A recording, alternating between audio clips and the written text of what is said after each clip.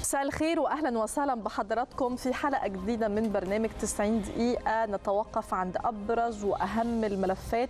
بنشوف صوت حضراتكم في الشارع في مواقع التواصل الاجتماعي. نشوف القضايا ذات الاهتمام ونتوقف أمامها في بانوراما تشمل كل القضايا وكل الملفات وكل الموضوعات. والحقيقة إنه النهارده الموضوع اللي كل الناس بتتكلم فيه مش بس النهارده الحقيقة من أسابيع هو المونديال أو كأس العالم 2022 بكل الغرابة اللي كانت فيه بكل يعني الأمور غير المألوفة المباريات المذهلة النتائج غير التقليدية واللي يمكن تابعنا من لحظات نهاية يعني الماتش اللي جمع كرواتيا بالمغرب. وعايزة أتكلم مع حضراتكم فيه شوية أنا وزميلي حسام. أهلا وسهلا بك يا حسام في البداية. أهلا بك يا هبة واهلا بالساده المشاهدين حلقة جديدة من 90 دقيقة وحلقة بداية الأسبوع. وبداية الأسبوع سخينة طبعا. عشان المونديال. وعشان أيضا مجموعة من الأحداث الاقتصادية اللي هنتناولها برضو مع حضراتكم النهارده في البرنامج. فطبعا في مجموعة من الملفات المهمة وكلها بتحمل أخبار ساخنة الحقيقة. يمكن أبرزها المونديال للأسف كنا بنتابع مباراة من شوية وكان عندنا أمل يعني انه المغرب تحصل على المركز الثالث عالميا في طبعا سابقة تاريخية.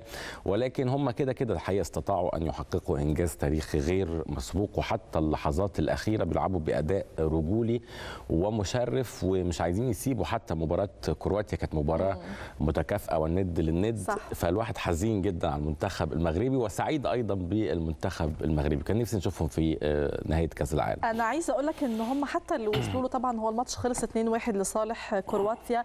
والماتش لفت أنظار ناس كتير. اولا لأن دي تاني مواجهة بين كرواتيا والمغرب وبين المنتخبين من أول المونديال. يعني تواجهوا في البداية دور المجموعات. أظن وانتهت الماتش أو انتهت المباراة بالتعادل. ووصف الناس كلها اللي بتتابع يعني أداء المنتخب المغربي وأداء المنتخب الكرواتي من بداية المونديال كل واحد بقى في الفرق اللي لعب معاها وكل واحد في المواجهات اللي خاضها والمنافسات اللي خاضها. الناس المهتمين بالرياضة والنقاد قال لك إحنا قدام مغامرة مغربية ومغامرة كرواتية. كل واحد فيهم كان مذهل في أدائه كل واحد فيهم قدر يحقق نتائج غير مسبوقة. النهارده إحنا بالنسبة لنا وصول المنتخب المغربي لإنه يبقى في المركز الرابع في كاس العالم في مونديال 2022 ده في حد ذاته أمر مذهل. خلي بال حضراتكم ده أول مرة تحصل مع منتخب عربي وإفريقي. إنجاز تاريخي دي أول نقطة. النقطة الثانية إحنا بنتكلم عن الإنجاز ده حصل بمنتخب بمنتخب المدرب بتاعه. هو مدرب وطني مش مدرب أجنبي زي ما إحنا تعودنا إن النتائج المذهلة بتتعمل مع المدربين اللي عندهم باع طويل بقى وجايين من بره والعقدة الخواجة اللي عندنا. نقطة كمان مهمة جدا في ناس كتير بتقول لك زي ما ساعات بنتكلم عن أحداث بتغير من شكل النظام السياسي لا هو اللي حصل في الكورة كمان. تغيير في النظام الكروي. اللي عمله المنتخب المغربي غير كل القواعد وكسر كل القواعد وخلينا نشوف لأول مرة منتخب إفريقي عربي بيوصل لمراكز متقدمة جدا بالشكل دوت. وكأنه خلاص بقى الثوابت بتاعه المنتخبات اللاتينية والمنتخبات الأوروبية ده خلاص أمر ما بقاش موجود. بنشكر المنتخب المغربي ولو إننا كنا بنتمنى طبعا إنه يحقق مركز ثالث وإنه أصلا يوصل للكاس لكن بنشكر لعيبة رجال أسود الأطلس زي ما بيسموا في عالم الكورة. بنشكر أمهاتهم بالمناسبة يا حسام اللي تابعنا على مدار ماتشات المونديال كلها لقطات جميلة جدا وإنسانية جدا لكل لعيب في المنتخب المغربي وهو بيبوس راس مامته وهو بيبوس إيديها وهو بيحتفل معاها بعد كل جون بالمناسبة. وكأننا النهارده بنتكلم عن منتخب مش بس صدر لعب حلو وخلى الناس تشوف ماتشات حلوة لا ده كمان صدر قيم جميلة ومشرفة جدا عن العالم العربي. بالتأكيد إحنا بكرة وإحنا بنتابع طبعا مع حضراتكم نهائي كأس العالم بكرة طبعا هيبقى أيضا يوم مشهود والحقيقة هنتوقف عنده كمان بالمزيد من البحث والتحليل لأنه زي ما قالت هبة يكون قدام إحنا دورة غير مسبوقة في كأس العالم رفعت سقف الطموحات بالنسبة للشعوب العربية بعد ما شفنا منتخب عربي في المربع الذهبي لأول مرة يعني في التاريخ وهذا المنتخب بيحقق حتى لغاية آخر لحظة بي- بيكسر أرقام آه، قياسية. يعني حكيم وزياشي أصبحوا كمان أكثر اللاعبين العرب مشاركه أداء، آه، 10 مباريات في كأس العالم. في التاريخ طبعا يعني.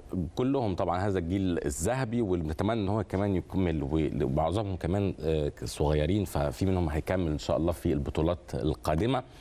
والحقيقة المونديال كله لازم نتوقف عنده بكرة يمكن بنظرة هو ده بقى. تحليلية. بص الصورة دي. لأنه آه طبعا أنا معلش أنا بقطع كلامك لا بس لا لا. فعلا أنا مش بس بشكر آه، يعني اللعيبة على الأداء المشرف اللي عملوه.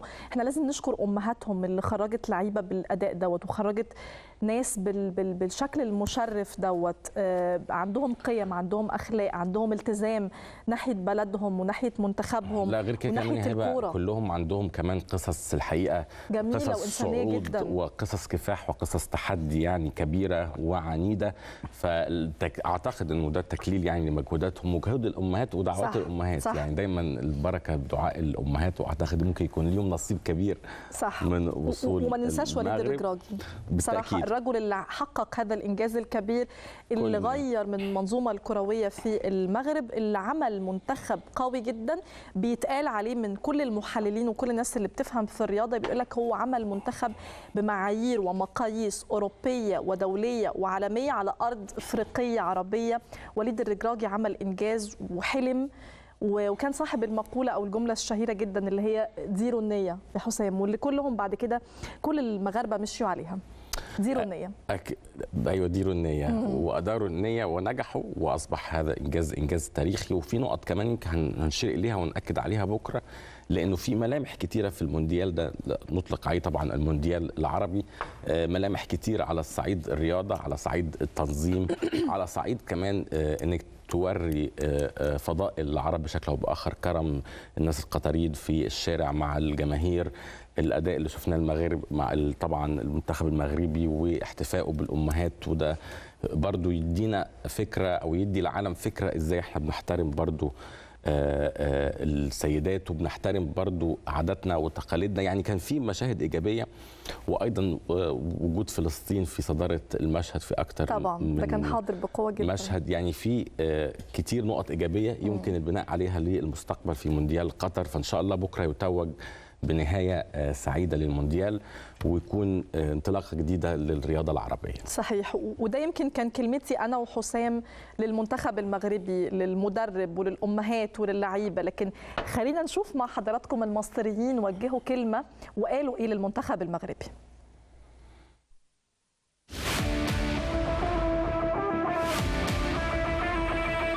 إيه رأيك في أداء المنتخب المغربي في المونديال؟ والله أداء حلو يعني شرفوا العرب كلهم. المنتخب المغربي رفع رأس العرب كلهم وحاجة مشرفة واللي وصل له اللي وصل له ده بصراحة حاجة تشرف كل عربي. لا بجد أنا كنت مبسوط. إحنا كنا كلنا بنشجع كأنه منتخبنا يعني. بس هو فعلا منتخب مشرف شرفنا كلنا وشرف نفسه قبل ما يشرفنا يعني. إحنا كلنا كمصريين فرحنا باللي هم لعبوا بيه. تحب تقول إيه المنتخب المغرب بعد خروجه من المونديال؟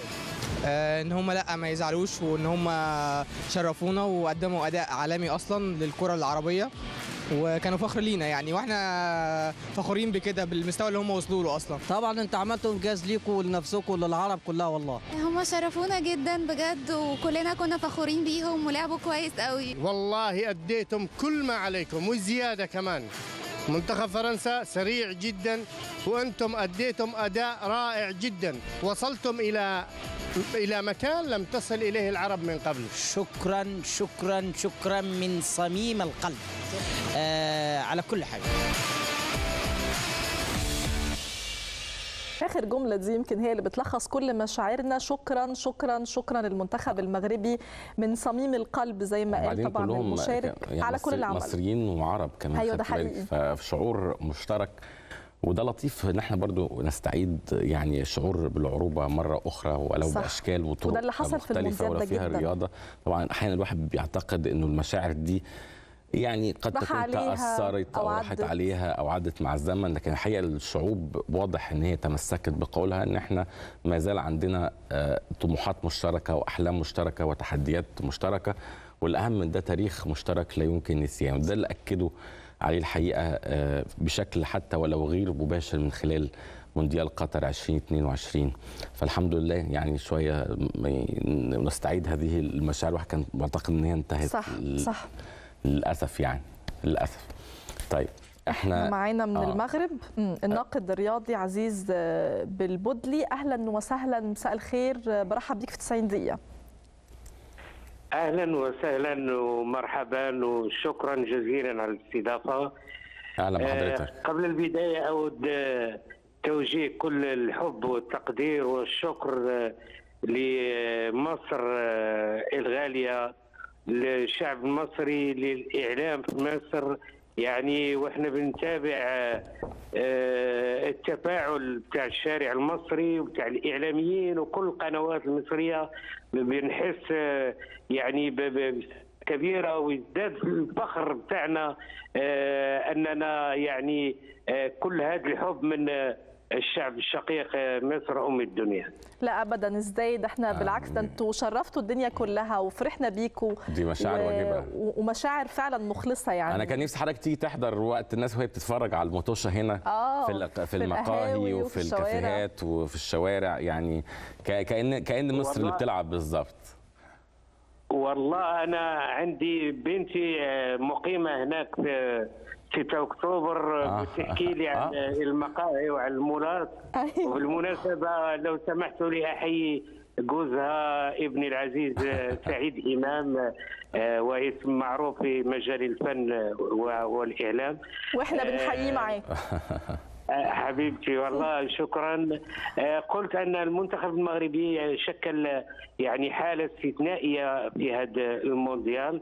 آه، حالة آه، يعني كما سبق أن ذكرتم أنتم أنه فتح الباب لكل المنتخبات الإفريقية والعربية انها تحلم أن سقف أحلامها ما ما ما, ما يكونش عند حدود المشاركة فحسب لا إحنا بإمكاننا أننا آه، نشارك ونطمح أن نكون من بين أفضل المنتخبات في العالم. اليوم طب بالمناسبة دي أنا يعني برضو أحب أسألك عن قراءتك للنتيجة أو إزاي النهاردة بتشوف النتيجة اللي وصل ليها المنتخب المغربي حلوله في المركز الرابع وكنا نتمنى أنه يحل في المركز الثالث أو حتى يوصل لكأس العالم. هل بتعتبر دي أو بيتم اعتبارها في المغرب أنها نهاية المغامرة المغربية ولا بداية أرحب وأوسع وأفاق جديدة للمنتخب المغربي والبقية المنتخبات العربية والإفريقية؟ اولا خلينا نتفق على أن أهم خصم كان عند وليد الركراكي اليوم هو الاعصاب والإصابات بتاع اللاعبين. صح. برضه الإجهاد كان واضح شوية طبعا فربنا يعينهم يعني مباريات صعبة كلها. نعم. فأن أن تكون مجبر على إجراء تغييرات في بداية المباراة وأثناء المباراة فذلك صعب على أي منتخب وعلى أي مدرب آه، كيفما كان المستوى بتاعه.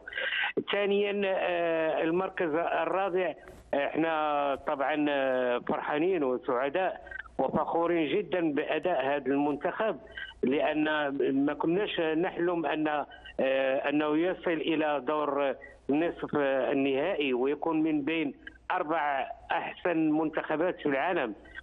طبعا هذه مسؤولية جديدة وتكليف للكرة المغربية المنتخب المغربي فهذه ماشي مش نهاية المسار هي بداية والبداية حتكون إن شاء الله في كأس أمم إفريقيا بالكوت ديفوار. وأكيد أن ما قدمه وفي كأس الأندية بقى عندكم كمان قريب حي حي حيزيد في مستوى المنافسة في كأس إفريقيا للأمم مم. وزي ما ما قال آه، وليد ركراكي في الندوة التي أعقبت آه، مباراة اليوم قال أنه كان كيتمنى أن آه، تكون آه، منتخبات إفريقية كبيرة مشاركة في هذا الموندي- المونديال. وذكر آه، في مقدمة هذه المنتخبات منتخبات مصر منتخب مالي منتخب جنوب إفريقيا يعني منتخبات اللي عندها باع طويل في كرة القدم الدولية. أكيد أكيد أن المستوى الذي قدمه المنتخب المغربي حيكون عنده تداعيات كثيرة في المحطات القادمة وخصوصا آه، كأس أمم افريقيا بالكوت ديفوار.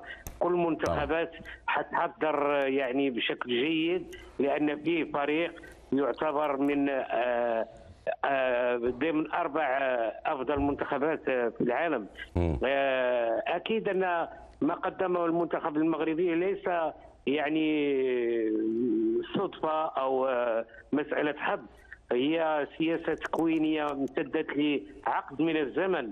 آه، لازم الواحد يعرف أن في المغرب نتوفر على أكاديمية محمد السادس لكرة القدم وهي آه، منشأة ري- رياضية يعني تعني بتكوين اللاعب آه، تقنيا وبدنيا وكذلك آه، تعليميا فاللاعب الصغير لما يدخل الأكاديمية فمتاح له أنه يتعلم فن كرة القدم وكمان يتابع التحصيل الدراسي بتاعه والأكاديمية جميل. منحتنا تقريبا خمس أو ست لاعبين شاركوا مع المنتخب المغربي وأبرزهم عز الدين أناحي وكذلك آه، كثير آه، يوسف النصيري آه، وكان وكان في. كمان لاعب أصغر لاعب آه، اشترك في المونديال كمان عنده 18 سنة مغربي حنوش اسمه؟ هو أول مرة يحمل القميص المغربي هو نشأ و, و عنده 18 وتعلم سنة بس أصغر واحد. شارك آه أيوه نعم وكان في بلجيكا وكان امامه اختيار إما يختار ينضم لمنتخب بلجيكا أو المغرب ولكن اختار أخيرا إنه يلعب مع منتخب المغرب وهناك لعب آه، فعل. كيلعب ال- ال- ال- ال- الأمهات والآباء يلعب يلعبون دور مهم في طبعاً. آه، تحديد اختيارات اللاعبين لأن الانتماء إلى الوطن وحب الوطن آه، شيء مقدس بالنسبة ل- طبعا. لل- ونتيجة السياسة الرياضية دي انعكست في المثل ده بشكل واضح إنه شاب عنده 18 سنة وبيشارك في كأس العالم كأصغر لاعب في المونديال. أكيد أكيد. فدي أيضا انعكاس لنتيجة هذا الايجاب لاعب لاعب مثل حكيم زياش اللي نعم. عاش طفولة صعبة عاش يتيم وكان آه، يعني أدمن المخدرات ولكن بفضل أيوة. الأم ديالو بفضل أحد المغاربة ال- خرج منها أقوى وبقى بطل. هو اصبح كمان أكثر اللعيبة العرب مشاركة في كأس العالم 10 مباريات أعتقد. هو هو حكيمي. قدوة ل- أصبح آه. قدوة هنا في تساوي مع الدعيع آه،. حارس المرمى السعودي. نعم وحكي وكذلك أشرف حكيمي واللاعبين كلهم في يعني في بيئة اجتماعية صعبة ولكن انتمائهم للوطن بفضل أمهاتهم وآبائهم. فهذه ممتازة. أمهاتهم. فكرة كانت ممتازة بتاع المدرب وليد الركراكي والاتحاد المغربي أنهم استخدموا أسر امم اسرهم كانت حاضرة وكانوا كل بعد كل جون يطلعوا يحتفلوا مع اسرهم وأمهاتهم. حتى الرجراجي نفسه كانت كانت أسرته موجودة في ال- في المدرجات. كانت أمه نعم أمه أولاده ومراته ومراته على فكرة آه، جنسية جزائرية. آه، هذا دليل على أننا كل كلنا عرب كلنا. أخوة كلنا. والحمد لله أن المنتخب المغربي وما قدمه آه، نجح أنه يلم شمل العرب كلهم. من صحيح. فلسطين ده إنجاز. البحرين، مصر فهذا إنجاز أكثر منه إنجاز كروي رياضي في في أي أخبار بقى عن استقبال رسمي أو شعبي أو كده الخبر المؤكد هو أن يوم الاثنين في استقبال شعبي من المطار آه، يوم الاثنين. باستقبال ملكي في القصر الملكي في آه، آه، العامر في العاصمة الرباط إن شاء الله آه، أكيد أن المؤسسة الملكية في المغرب كانت دائما عبر التاريخ تهتم بالرياضة ونتذكر جميعا 1984 عندما فازت آه، نوال المتوكل بالميدالية الذهبية الأولمبية وسعيد عويطة كذلك. نعم. فكان المرحوم الملك الحسن الثاني آه، خصص لهم آه، يعني استقبال ملكي وشعبي من أعلى الطراز. آه، الملك آه، محمد السادس كذلك يسير على نفس ال- ال- المسار الوالد والده الله يرحمه نعم. فسيخصص استقبال آه، ملكي لأبطال المنتخب المغربي وشاهدنا عبر فيديوهات كيف بعد آه الانتصار في الفرحة في الشارع وتلاحم الجماهير صاحب معاه الجلاله آه. خرج إلى الشارع ولا- ولابس قميص المنتخب المغربي نعم. وشارك الجماهير المغربية الفرحة أيوة. فالرياضة عندنا في المغرب هي مسألة أساسية وفيه اهتمام كثير ويكفي أن نذكر أن في ألف آه، ألف و- 2009 كان صاحب الجلالة محمد السادس منح آه، للرياضه المغربية آه، حوالي 33 مليون دولار من آه، من من ماله الخاص آه، من أجل المساعدة على اكتشاف المواهب وإعداد المواهب الرياضية للألعاب الأولمبية. آه، واعطى أوامره لكبريات آه، يعني الشركات الاقتصادية والمؤسسات أنها تدخل آه، في ب- بدعم مالي كبير مم. للرياضة واليوم الاتحاد المغربي لكرة القدم يعني ممكن اعتباره من أغنى الاتحادات في إفريقيا أو أعتقد يعني الحصول كمان على مكافأة. كبيرة بعد المونديال بالتأكيد كمان هتضيف كل لل- التوفيق طبعا نعم. إحنا بنشكرك شكرا. ونتمنى إن شاء الله الرحمن الرحيم كل توفيق لمنتخب مصر والنجم العربي مبخره العرب محمد صلاح وباقي اللاعبين آه، منتخب مصر يستحق يعني آه، كل التقدير وعلى الأقل إحنا اليوم نشترك مع منتخب مصر أن لاعبينا آه،. بدأوا يلعبوا بالروح وبمنطق الأسرة. دائما التلاقي يعني في في كأس الأمم ودائما يعني ماتشات مصر والمغرب بتكون ماتشات قوية ومهمة وبنسعد بيها جميعا نشكرك طبعا. شكرا, جزيلا. جزيلا. من المغرب الناقد الرياضي عزيز بالبدلي شكرا جزيلا لكم مرة ثانية بنقول للمنتخب المغربي والمغرب الشقيق طبعا كله آه، كل التوفيق وألف ألف مبروك. نعتبر ده انتصار للكرة المغربية وبنعتبره يعني فوز للكرة المغربية. خلينا نروح مع حضراتكم بقى لموضوع آخر. آه، الحقيقة مهم وبيهم كل بيت وكل أسرة. وملف التعليم دايما فيه تفاصيل كتير ودايما فيه يعني تطورات كتير. آخر حاجة يمكن الناس بتتابعها ومهتمة جدا بيها هي مواعيد امتحانات الترم الأولاني ومواعيد امتحانات الترم الثاني وفي نفس الوقت آه، طبيعة المناهج في الترمين آه، نظرا للوقت. دي مسألة بتشغل كل البيوت المصرية في سنوات النقل بقى والشهادات والاعدادي والكلام ده. النهارده إحنا كنا طول الأسبوع اللي فات في آه، إعلانات مستمرة من وزارة التربية والتعليم بخصوص مواعيد امتحانات الترم الأول والثاني الترم الأول مفترض إن هو حسب آخر حاجة اتقالت يبدأ في يوم 14 يناير. وبالتالي ينتهي الترم الأول يوم آه، 26 يناير وتبدأ أجازة نص السنة يوم 28 يناير. ناس كتير اعترضت أو بدأت تقول طب ده معناه 12 يوم فقط لإجراء الامتحانات لكل صفوف النقل والإعدادي وده هيكون صعب أو هيخلي في كثافة عددية جوه الفصول كبيرة في حين إن إحنا برضو في ظل الظروف بتاعت كورونا لسه ما خلصتش طبعا إحنا عارفين. وفي ظل الفيروس المخلوي وفي ظل الانفلونزا إحنا هدفنا نقلل التكدس جوه الفصول. ده تساؤل كبير عند الأهالي النهارده. آه، بس البعض ال- بيقول في النقطة دي إنه ربما يكون السبب في التأجيل هو الرغبة في تفادي الإصابات بالمخلوي أو بغيره. مش عارف يعني يقال في يمكن تفادي التأجيل؟ آه يعني التأجيل قد يفيد مثلا بسبب انتشار الحالات فنبدأ قبل ما نخش في. الشتاء.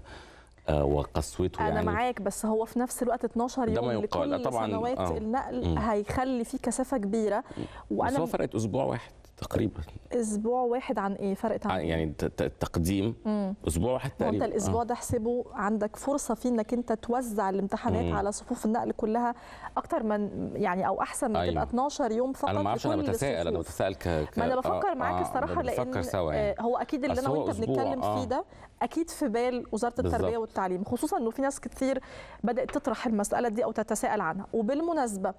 هم أتصور إنه تم تلافيها في امتحانات الترم الثاني صحيح الوزارة بدرت امتحانات الترم الثاني هتبدأ في آخر آه، مايو بدل شهر ستة اللي هو يونيو بس في نفس الوقت هم عملوا حاجة كويسة جدا في الترم الثاني شالوا جزء من المنهج عشان يبقى المنهج أكثر تناسبا مع الخريطة الزمنية بتاعت الترم الثاني طيب يبقى التساؤل عن هو كان في آه، كمان مطالبات sorry يبقى, يبقى, يبقى آخر آه، آخر وحدة أو يسموها ال units في الدراسه تبقى آه. قراءة فقط دي أيوة. برضو ما هو ده اللي حصل في الترم الثاني آه الناس عايزة بقى تكرر لكن الموضوع الترم الأولاني بقى قراءة. إيه اللي هيحصل فيه مم. هو ده السؤال والثانوية العامة برضو في تطورات كتير حاصلة الأيام اللي فاتت اتحصل ال- الامتحانات التدريبية اللي هي المفروض تعرف الولاد أو الطلبة امتحان الثانوية العامة السنة الجاية دوت أو اللي هي ده المفروض الجدول نازل قالوا قريبا هيبقى شكله إيه. الامتحان بالظبط يبقى شكله إيه فخلونا نفهم الصورة الكاملة في ملف التعليم ونسأل في كل التفاصيل دي تحديدا مع طبعا آه، نيفين شحاتة مسؤول ملف التعليم بالأهرام.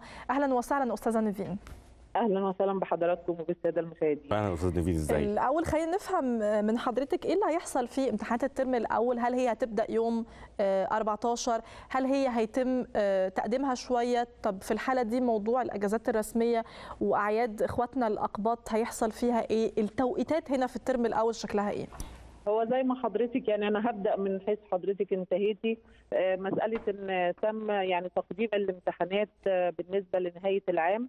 وبالتالي مم. فيعني الخريطة الزمنية للامتحانات كلها يعني تم تعديلها خاصة للنقل والشهادة الإعدادية والدبلومات الفنية، الثانوية العامة زي ما هي هتبتدي 10 يونيو المقبل لكن امتحانات النقل والإعدادية والشهادات اللي هي زي الدبلومات هي اللي تم تقديمها. وهو يعني لو اتكلمنا بمنتهى الوضوح هو ده كان المتبع كل سنة. يعني كل سنة كانت امتحانات الدبلومات بتسبق الثانوية العامة. لما الخريطة الزمنية أعلنت قبل بداية العام الدراسي قالوا إن الامتحانات الدبلومات هتبقى بعد الثانوية العامة. لكن طبعا كده الأمور رجعت لنصابها الصحيح وتم آه، يعني تقديم الامتحانات بالنسبة للنقل هتبقى في مايو بدل ما هتبقى في يونيو. ده في الترم الثاني إحنا كنا بنتكلم على الترم الثاني بالظبط كده. ده آه. التعديل اللي تم خلال الفترة اللي فاتت.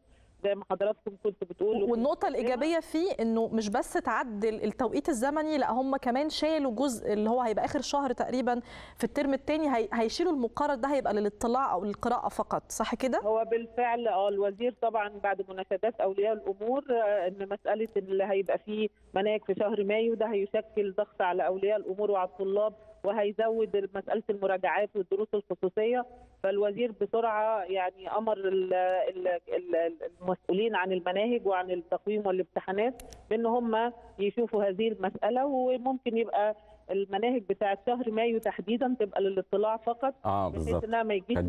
أسئلة في امتحانات نهاية العام طب السؤال عن الترم الأول يعني إذا كنا خدنا الخطوات الإيجابية دي في الترم الثاني الترم الأول مصيره إيه أو وضعه إيه؟ في توقيت الامتحانات على الأول الأقل. ما فيهوش ما فيهوش أي مشكلة يعني مسألة الامتحانات دي طبعا بتبقى على مستوى الإدارات والمديريات التعليمية ما بتبقاش مركزية عن طريق الوزارة. آه، كل مدرسة بتقدر إن هي توزع الطلبة على الفصول طبقا للفراغات اللي عندها وطبقا لعدد الفصول. فما بيبقى في أريحية شوية بالنسبة لامتحانات آه، النقل آه، والإعدادية لأن طبعا دي على مستوى الإدارات والمديريات. يعني معلش خليني أسألك يا أستاذة نيفين مش لازم كلهم يبدأوا في نفس اليوم أو في نفس التوقيت؟ بالظبط هيبدأوا في نفس اليوم ونفس التوقيت. اللي هو يوم طبعاً- 14؟ آه بالظبط كده طب هيلحقوا يعني 14 ل 26 12 يوم يلحقوا يعملوا الامتحانات لكل صفوف النقل والإعدادي بكثافة يعني عددية كويسة في الفصول مش عالية أو مش كبيرة؟ آه، هو حضرتك أصلا من ساعة كورونا ففي آه، يعني عدد معين في كل لجنة اللجنة ما تزيدش عن 14 طالب أو 16 طالب. بالظبط. ده اللي متبع من أول ظروف كورونا يعني ومستمر عليه الوزارة حتى الآن. مم. فمسألة إن يبقى في تباعد بين الطلاب ويبقى في يعني مسافات بين الطالب والآخر دي تم مراعاتها ومعمولة في الإجراءات الاحترازية اللي بتطبق كل عام منذ يعني انتشار فيروس كورونا آه، يعني مش فيروس هذا الفيروس العالمي يعني مش في مصر بس تحديدا لكن في كل العالم فتم يعني اتخاذ إجراءات احترازية من ضمنها إن يكون في فراغات وفي يعني مسافات. بين الطالب و- وطبعا كمان عندهم صلاحيات إن الطالب اللي بيبقى عنده يعني عذر مرضي بي- بيقدم ما يثبت ذلك آه. وبيمتحن يعني في وقت آخر مع الدور الثاني أو بيمتحن في وقت ثاني المدرسة بتحدد له موعد آخر للامتحانات خاصة المواد اللي هي. زي المستوى الرفيع وزي التربية. ده لو عيان يعني؟ لو في آه عنده عذر هو كان بيقال أصلا إنه إحنا قدمنا الامتحانات شوية برضو يعني كنوع من أنواع التفادي إيه آه، ذروه موسم الشتاء عشان برضو الفيروسات والحاجات دي. ده ده دي علاقة ده بيتم بالتنسيق مع وزارة الصحة يعني لل- آه. مساله اختيار المواعيد وتحديد المواعيد. ولذلك الوزارة بتحدد المو... يعني مواعيد ال- الامتحانات مبكرا علشان خاطر أيوة. يبقى آه، يعني في تنسيق مع وزارة الصحة ويبقى كمان الإدارات والمديريات التعليمية تكون مستعدة على أكمل وجه يعني. وطبعا نأمل يعني النجاح والتوفيق لأبنائنا جميعا إن شاء الله. طب معلش. آخر سؤال متعلق بس بالثانوية العامة.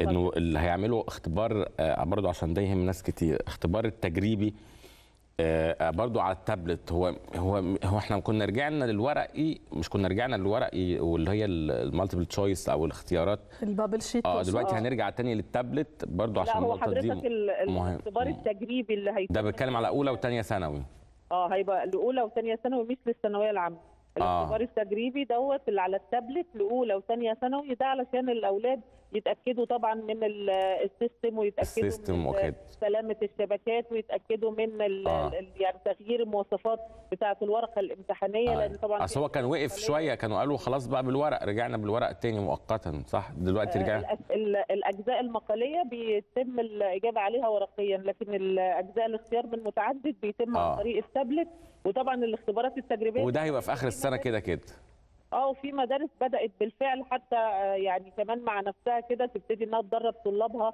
آه. على هذه الامتحانات لكن بالنسبة للثانوية العامة هيتعمل لهم امتحان استرشادي أو تجريبي زي ما الوزير قال مع بد- آه، بداية النصف آه دي نقطة ده مهمة إمتى. بقى هيتعمل اتقال نص الشهر اللي إحنا فيه دلوقتي لا آه، اللي هيتعمل دلوقتي في أولى وثانية ثانوي. لكن بعد نص السنة هيتعمل للثانوية العامة امتحان تجريبي وده هيكون على طريق موقع الوزارة الإلكتروني عشان الطالب يبقى عارف شكل ورقة الأسئلة مم. ونوعية الأسئلة اللي هتيجي في امتحان آخر العام. طيب ده شيء مهم. كمان بالنسبة لموضوع ثانوية عامة الامتحانات المفروض تبدأ يوم 10 يونيو مش كده؟ بس فعليا أيوة بالظبط. فعليا هتبقى 17 لأن اللي قبل اللي قبل 17 ده هيبقى المواد, المواد اللي هي لا تضاف للمجموع. لا هي نجاح ورسوب ولكنها خارج المجموع. زي التربية الوطنية والتربية الدينية وما إلى ذلك يعني طيب سؤال بقى أخير. هل في مشكلة في موضوع ال- الإشراف على أو مراقبة الامتحانات؟ لأنه في أخبار متضاربة برضو في القصة دي إنه في عدم إقبال على التسجيل. اشرح لنا معلش آلية التسجيل على المراقبة امتحانات ثانوية عامة ومين منوط بيه تحديد القصة دي؟ إيه إيه اللي بيحصل فيها بالظبط؟ هي عادة كل سنة الوزارة بتفتح الموقع الإلكتروني الخاص بالمرشحين للعمل في أعمال امتحانات الثانوية العامة والدبلومات الفنية. وبيتقدم أعداد من هؤلاء وطبعا لو الأعداد بتبقى آه، يعني مش يعني ال- الأعداد المطلوبة أكبر من الأعداد المتقدمة الوزارة بتبتدي إنها ترشح مجموعة أخرى وطبعا بتفتح باب الاعتذارات للي عايزين يعتذروا المدرسين أو المدرسات اللي عايزين يعتذروا عن المشاركه في أعمال الامتحانات. فالسنه دي الوزير قال ال- ال- اللي مش هيتقدم لأعمال الامتحانات بدون آه، عذر هيتم يعني التح- التحقيق معه. يعني لازم يبقى آه، كل يعني مدرس أو مدرسة في بينطبق عليهم الشروط وما عندهمش أي عذر ايا كان إن هم لازم يروح يشارك في الجهد دوت. بالظبط كده. اللي عنده عذر بقى تاني بيتقدم بعد كده بالاعتذارات والوزارة بتبت في هذا الأمر إذا كان بتنطبق عليه الشروط بتاعة الاعتذارات من عدم. لكن عشان ما يحصلش بس يبقى الأعداد المتقدمة أقل من اللي مطلوبة ويبقى في ناس تانية عايزة إنها تتقدم ومش عارفة الطريق إزاي فالوزير عشان كده قال كل من ينطبق عليه الشروط يتقدم لل... لل... للامتحانات أو للترشح لأعمال الامتحانات وبعد كده الوزارة هي تحدد واللي عايز يعتذر فيما بعد بيقدم في لما يفتح باب الاعتذارات. طيب ممتاز. لكن اعداد اللي بيقدموا أو اللي بيتطوعوا للتسجيل هل هي زي كل سنة ولا في اختلاف فيها؟ لا زي كل سنة السنة دي ما فيش حاجة بس دي يعني آه، زي ما تقولي حضرتك تعليمات تحذيرية الوزير بيقولها قبل ما يفتحوا باب التقدم ممتاز. علشان ما يحصلش دروب في الأعداد المتقدمة. وعلى فكرة بيبقى على قد ما بيبقى فيه يعني كم من الاعتذارات على قد ما بيبقى فيه كم. من المدرسين عايزين يشاركوا في هذه ال- الأعمال. ومثلا ما بيبقاش لهم فرصة. فعشان كده الوزير قال كل من ينطبق عليه الشروط يتقدم لل- للعمل في امتحانات الثانوية العامة. نشكر حضرتك طبعا. شكرا جزيلا أستاذة نيفين شحاتة مسؤول ملف التعليم بالأهرام. كل التوفيق لكل الولاد والبنات في المراحل التعليمية المختلفة. هو دايما كده فترة الامتحانات بيبقى فيها شوية توتر يا حسام وشوية قلق من الأهالي ومن الولاد. عشان كده بنستفهم في كل التفاصيل مواعيد الامتحانات المناهج بالظبط آه، الكثافة اللي هتكون في جوه الفصول أو جوه المدارس نفسها وإيه اللي هيحصل في الامتحانات التدريبية. أعتقد إن دي يعني يمكن بعض الإجابات المهمة للجميع. وفي نهاية الأمر ما أعتقدش ان هي هتبقى أزمة كبيرة موضوع الأسبوع ده لو فعلا تم تدارك الموضوع وان تكون الوحدات الأخيرة للاطلاع فقط. فأعتقد ده حل مرضي لكل الأطراف يعني. أنا عايز أسألك بقى عن حاجة بره. الموضوع ده تماما وبره القصة دي خالص. شفت الفيلم شفت فيلم افاتار تحديدا الجزء الثاني لا ما دخلتش الجزء الثاني لسه. بس أنت ل- دخلت ل- الأولاني أكيد. الأولاني طبعا أنا فاكر دخلته في السينما. والفيلم ده الحقيقة واحد من أعظم إنجازات السينما العالمية. آه. يعني عجبك قوي. طبعا نقطة ملحمية في تاريخ السينما عجبك. ال technology اللي متصور بيها ولا عجبتك القصة ولا يعني إيه اللي لمسك بالظبط فيه؟ أفاتار 1 كان نقلة نوعية في السينما. يعني طبعا هو رائعه جيمس كاميرون. جيمس كاميرون ده حصل على أوسكار عدة مرات. صاحب فيلم تايتانيك طبعا أكيد المصريين عارفينه. فيلم تايتانيك. الفيلم ده لأول مرة لما خرج كان فيه تقنيات للجرافيك والإبهار البصري غير المسبوقة يعني كانت نقلة نوعية.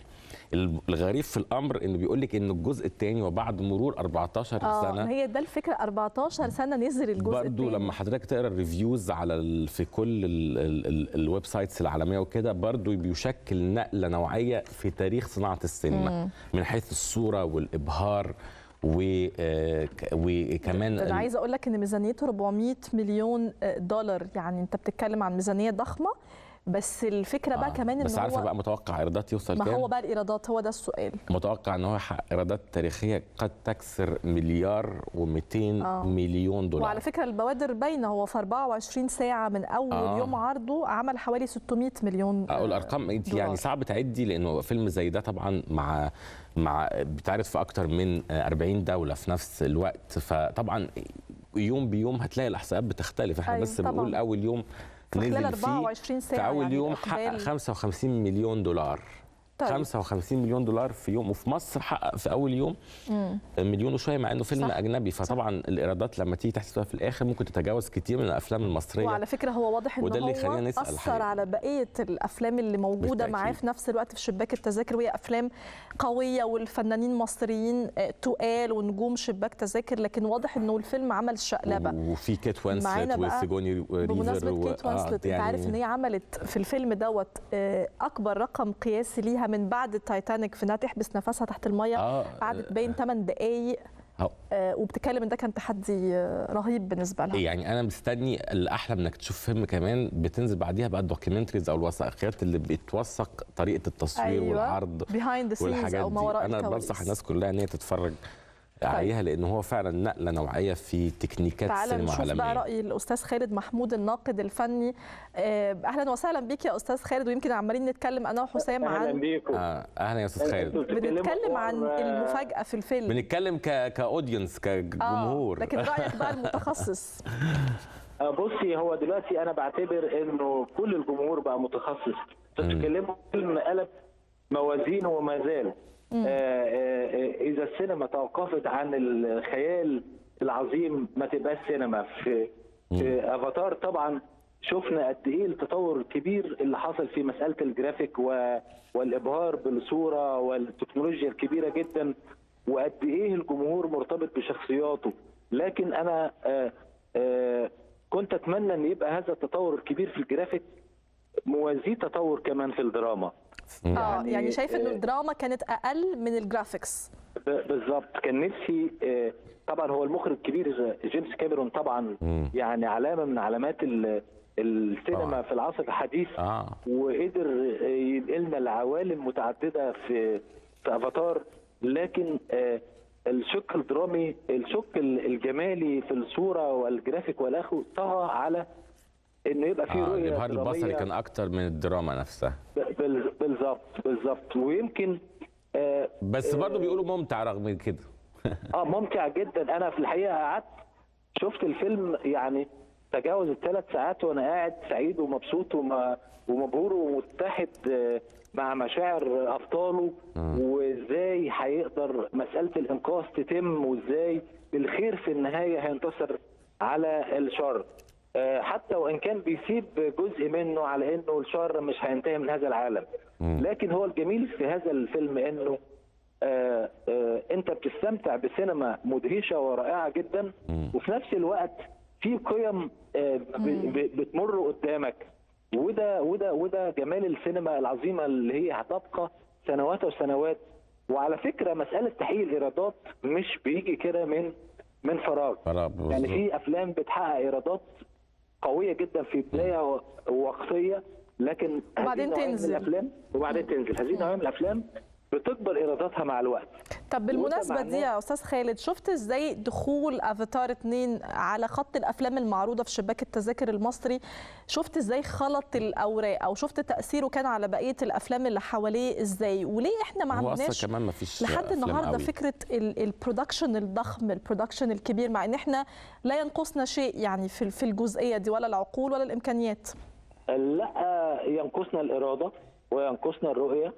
وينقصنا فكرة إزاي نخاطب الأجيال الجديدة يعني عاوز أقول لك إنه السينما المصرية وشباك تذاكر السينما المصرية آه، بعافية وإنه إذا في فيلم حقق وتجاوز ال 100 مليون جنيه آه. آه. مثلا فده لأنه ملوش منافس موجود ليه آه آه لما نزلت آه، أفلام أجنبية زي الفيلم الأخير بتاع توم كروز آه توب جان آه، الجزء التاني ملايين برضه. كتيرة وقدر يبقى مؤشر وجرس انذار انه يا جماعة لما بينزل فيلم كويس ومخدوم عليه يقدر يسحب منك البساط لأن انت ما عندكش الفيلم المنافس ليه في شباك تذاكر آه، جمهور السينما النهارده من سن مثلا 16 ل 20 ده السمة العظمى وده اللي بيحط خياراته في الرؤية والمشاهدة.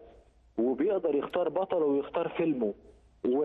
وإذا ما تنبهناش وابتدينا نفكر لهذا الجيل بسينما جديدة ومختلفة ومتنوعة ومبهرة آه، هنقدر آه، شوية شوية هينسحب البساط. لأنه لأن كله دلوقتي على المنصات خلاص يعني آه طبعا كله طبعا دلوقتي على المنصات. للسينما جمالها. مم.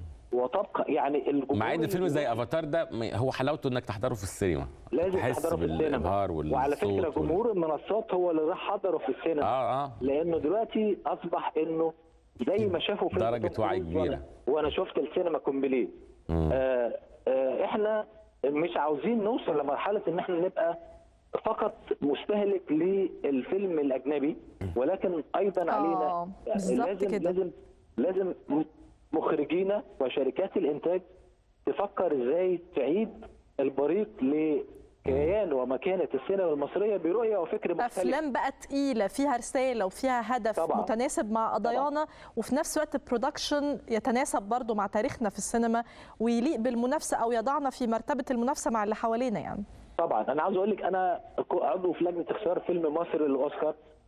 كنا محتارين لأنه ما لقيناش فيلم يقدر يخش حتى المنافسة على المستوى الأول بس كان الأفضل المشاركة ولا عدم المشاركة خالص؟ لا بصي أنا أنا مع عدم المشاركة كجرس إنذار. لكن آه، ال- ال- ال- الطرف الآخر اللي, اللي هو كان مع المشاركة إحنا الأصوات انقسمت من باب إن لازم السينما المصرية تبقى موجودة. يا جماعة ما هو طيب لازم نعرف ونقف إنه ال 18 فيلم اللي انتجوا خلال عام ما فيهمش فيلم قادر على المنافسة. أنا النهارده يعني أنا لما بروح مثلا مهرجان زي برلين أو كان بشوف قد إيه الإنتاج الكوري والإنتاج الصيني والإنتاج طالع الإيراني طالع طالع. ودول أقل مننا في الصناعة بكثير طالعه وبتفكر. ولازم نعرف إن السينما ليها هدف كبير قوي غير الإمتاع والفن. ليها تواجد أدبي كبير للبلد. ليها نظرة مختلفة لكيف يفكر آه، آه، مسؤولين الفن والثقافة في والمخرجين والأجيال الجديدة. آه، أنا شايف إن إحنا عندنا أجيال جديدة من المخرجين. موهوبين جدا وواصلين لمرحلة من آه، وشغلهم باين على المنصات الحقيقة يعني ممثلين على المنصات رائعين. المختلفة بتلاقي. المصريين عاملين مسلسلات تحفة. طبعا لازم حتى عايزين بقى السينما تلحق بالدراما. بالظبط. عاوزين في إرادة في إنتاج أفلام كبيرة احتضان للمخرجين الشباب اللي هم آه، عندهم رؤية في مسألة التطور التقني والتكنولوجي ونقدر نقدم سينما تحافظ على آه، آه، الكيان آه، الاجتماعي لأن كمان في مخرجين. كتير قوي دارسين بره وراجعين يعني أنا اعرف ناس كتير شخصيا طبعا. كلهم سافروا لندن وأمريكا وعندهم. النو هاو إحنا من بعد الموجة الكوميدية اللي. حققت إيرادات في الشباك التذاكر عملت حائط صد ضد مخرجين كتير كان عندهم أحلام في تقديم قضايا اجتماعية وإلى آخره. بس هو دلوقتي لا في موجة كوميدية ولا اجتماعية حتى هو عدد الأفلام قليل أصلا. بالظبط، بالظبط. يعني وإحنا بقى عايزين يعني ما فيش يعني ما فيش موسم سينمائي خلاص. لا عاوزين عاوزين السينما ترجع تاني. يعني أنا بحلم بعودة حتى نص نص مكانة شارع عماد الدين زي زمان. آه. قد إيه أنت ماشي آه، آه، عشرات الآلاف من الجمهور من مختلف أنحاء مصر ملتف حول السينمات. و- وقد إيه فخور بفنه. والفنانين زمان كانوا بيعملوا فيلم واثنين وثلاثه في السنة أحيانا. يعني طبعاً، لما نقرأ سيرتهم. كانوا بيعملوا فيلم. واثنين وأحيانا ثلاثة عاوز أقول لك إنه لازم يتغرس عند فنانينا إنه لازم يفكر إزاي يصنع تاريخ. نعم. يفكر إزاي يصنع تاريخ هيقاوم أي عوائق ويبتدي يشتغل ويقدم وينتج. أنا بتهيألي ده لأنه- نقاش مهم جدا يا أستاذ خالد شرفنا بقى شاء الله. تشرفنا في الاستوديو نتكلم عن صناعة السينما المصرية كقوة ناعمة وفي نفس الوقت كقوة اقتصادية مهمة يعني تشرفنا في النقاش دوت. نشكرك شكرا جزيلا على المداخلة القيمة. الناقد الفني الأستاذ خالد آه، محمود. فعلا محتاجين نعمل انتعاشه مرة ثانية لفكرة السينما المصرية وخصوصا إن إحنا عندنا العقول وعندنا الإبداعات وعندنا الممثلين وعندنا الأفكار وعندنا القضايا الحقيقة يعني اللي تساعدنا على ده. مش هنعمل يعني أفاتار بس على الأقل نبدأ يعني الطريق. على؟ والله أيوه على؟ الأقل نبدأ الطريق. طيب إحنا هنروح الطريق. مع حضراتكم آه، لفاصل ونرجع بقى نكمل معانا قضايا وموضوعات كتير مختلفة في 90 دقيقة. خليكم معانا. أهلا بحضراتكم مرة ثانية في 90 دقيقة. والحقيقة ناس كتير كانت متابعة الفترة اللي فاتت وتحديدا الأسبوع ده قضية البلوجر آه، الشهيرة هدير آه، عاطف. وكانت الناس بتتابع طبعا الأخبار واللي بيحدث فيها.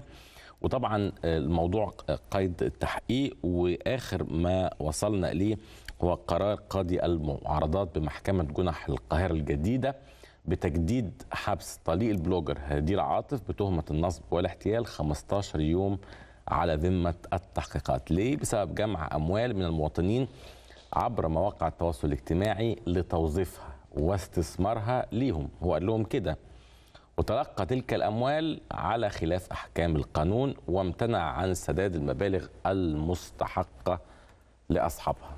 إيه طبعا بصي يا حسام أنا دايما عندي يعني أؤمن جدا بالقاعدة اللي بتقول المتهم بريء حتى تثبت إدانته. لكن اللي إحنا فيه النهارده من ال من ال أصل أنت الموضوع ما كانش بس اتهامات بالنصب أو بإن هم اخذوا فلوس من الناس هي وجوزها وشغلوها وما يعني ما ردوش للناس فلوسهم أو نصبوا على الناس هي باختصار. وطليقها وشقيقة طليقها القصة مش بس في كده. أنت عارف وجوزها كان أربعة. بيرافق الكلام ده كله أو اتهامات النصب دي كلها يرافقها بقى إيه؟ هي حطت على ال social media عندها أو أهلها حطوا إلحقوا البنت البنت اتخطفت. طليقها أو جوزها آه، صاحبه حط آه، كلام على ال profile بتاعه أو على الصفحة بتاعته إن هو انتحر وادعوا له يا جماعة بالرحمة وادعوا له بكذا. فإحنا قدام أجواء غريبة جدا وقدام تفاصيل غريبة جدا وقطعا في شيء غلط لأن أنا بدأت كلامي بإن المتهم بريء حتى تثبت إدانته وإحنا يعني ما تقدرش إنك أنت تصل إلى أو تقفز إلى استنتاجات وفي تحقيقات شغالة. بس في القضية دي هو قطعا في شيء غلط يعني في حاجة مش مظبوطة. آه بس خليني أقول لك إنه وفقا للبيانات برضو اللي صادره إنه البلوجر نفسها هدير عاطف اعترفت في التحقيقات بدعوه زوجها اللي هو المتهم اللي اسمه بلال آه وقالت. أنا عن نفسي ماليش دعوة بس هو اللي آه كان إن هو دعا وهي كانت يعني آه زي ما بنقول إيه وسيطة في النص فبرضه يعني ففي واضح انه لك يعني في في قضية. وفي حيثيات آه محطوطة وفي آه كمان اعترافات ولكن اللي هو السؤال العام والأبرز هنا هو إزاي إحنا بنروح ندي لناس فلوس؟ آه. آه، حضرتك ما يجمعكش بيهم أي صلة؟ أو أي آه، آه، آه، يعني علاقة أنت حقيقية فاكر أنت فاكر أو كام حتى شهر شكل كنا أنا وأنت بنغطي أحداث وبنتكلم باستمرار عن ظاهرة المستريح فاكر؟ مستريح آه، أسوان بقى مستريح واللي ظهر بعدها مستريحين كتير. إحنا النهارده على ما يبدو كده لو الكلام اللي في التحقيقات ده أو في. التسريبات دي فعلا طلع صح إحنا قدام مستريحين في صورة جديدة إلكترونية في صورة ال blogger وده اللي هيخليني أروح مع حضراتكم كمان شوية بقى و influencer نفهم مهما تعددت يعني إيه؟ يعني إيه blogger وإيه اللي بيحصل في القصة دي؟ طيب في حاجتين بس هنا عايزين نقولهم. الحاجة الأولانية إحنا مش ضد يعني مش, مش ضد الظاهرة في عمومها إنه في bloggers وفي لكن لازم نحذر الناس إن ده وفي ناس أحيانا على ال social media أصبحت غلط. طبعا لديها قوة خاصة مع أزيد عدد المتابعين. ولكن برضو دي مش معيار إنه حضرتك تثق في كل ما يقال ليك أو إنك تلجأ لإنك تحط فلوسك يعني انت رايح تدي شخص فلوس عشان يستثمرها لك في عربيات أو في انت بورصة. تعرفه منين على أساس إيش عرفك بيه؟ ده لمجرد مين؟ إن هي إيه، blogger أو إيه، عندها بيشتغل إيه؟ followers هو ده السؤال لمجرد إن هي عندها followers فحضرتك هتروح تديها فلوسك؟ يعني كان الأول ب- ب- بإن واحد سمعته كويسة وبيشغل الفلوس مثلا. دلوقتي بقى بعدد أو بالرقم اللي موجود على الصفحة من المتابعين وال followers والناس اللي بتتبع الشخص دوت بتظن بقى كده إنه ده شخص أمان و- ونحط فلوسنا معاه وأكيد هو وصل للرقم دوت ب- يعني مش من فراغ. لا ممكن يبقى وصل له من فراغ وممكن يبقى نصاب وممكن يبقى بيضحك عليك وده وارد جدا زي كما هو واضح يعني من تفاصيل بعدين تجارة القضية الع... دي بشكل كبير. تجارة العقارات والسيارات وتداولها بالبورصة يعني الموضوع تحس لازم يبقى في شيء آه، ما مش آه، من- منضبط. فاللي إحنا بنقوله لحضراتكم إنه أرقام الفولورز ليست معبرة آه، في عن ثقة حقيقية. حضرتك ممكن تبقى عاجبك حد بيحط محتوى ما لكن ده مش معناه إنه حضرتك وأنت مغمي عينيك تروح تثق فيه في أي شيء وده برضو بيخلينا يا حسام نفتح باب أو نفتح التساؤل على قضية ال bloggers وال influencers والناس الموجودين على ال social media مش تحاملا عليهم مش رفضا لمهنتهم فيهم ناس كويسة جدا بالمناسبة بيقدموا محتوى جيد مضمون جيد طبعاً. بيقدموا نصايح للناس في ناس مجالات وفي ناس مختلفة ثانية بتودي الناس في في داهية التوعية وفي آه. الصحة النفسية وفي طبعاً. صحة الأطفال طبعاً. في حاجات ناس مشرفة بنشوفها وفي ناس تانية لكن بقى في ناس تانية بتعزز التفاهة بتحسس وبتستخدم شهرتها دي في إنها تضحك على الناس. نقدر نعرف الفرق إزاي ده هنفتحه مع حضراتكم ونتكلم فيه أكتر. لكن الأول خلونا نشوف القضية اللي أثارت الجدل على مدار الأسبوع اللي فات. نشوف إيه التطورات اللي حصلت فيها. نشوف قضية هدير عاطف دي وصلت آه، لحد فين من صحفي. كان الحقيقة متابع لهذه القضية بشكل جيد جدا. حقق. فيها انفرادات وقدر يوصل لكل أطرافها وكل جوانبها. وهو الصحفي مصطفى درغام نائب رئيس قسم الحوادث بالقاهره 24 مساء الخير. أهلا وسهلا بك يا مصطفى. أهلا بيك يا أستاذ مصطفى. وعليكم وعلى كل متابعينكم الكرام. أهلا الأول كده احكي لنا أنا عارفة إن أنت قابلت والدة آه، هدير وعارفة إنك قابلت المحامي وعارفة إن أنت قدرت تتوصل لأطراف مختلفة وعملت لقاءات معاهم وعملت انفرادات. ممكن تقول لنا انطباعك عن القضية دي لحد النهارده إيه؟ ولأنه في لغط كتير محدش عارف هو إيه الصح من الغلط. إيه اللي حصل بالظبط في قضية هدير عاطف؟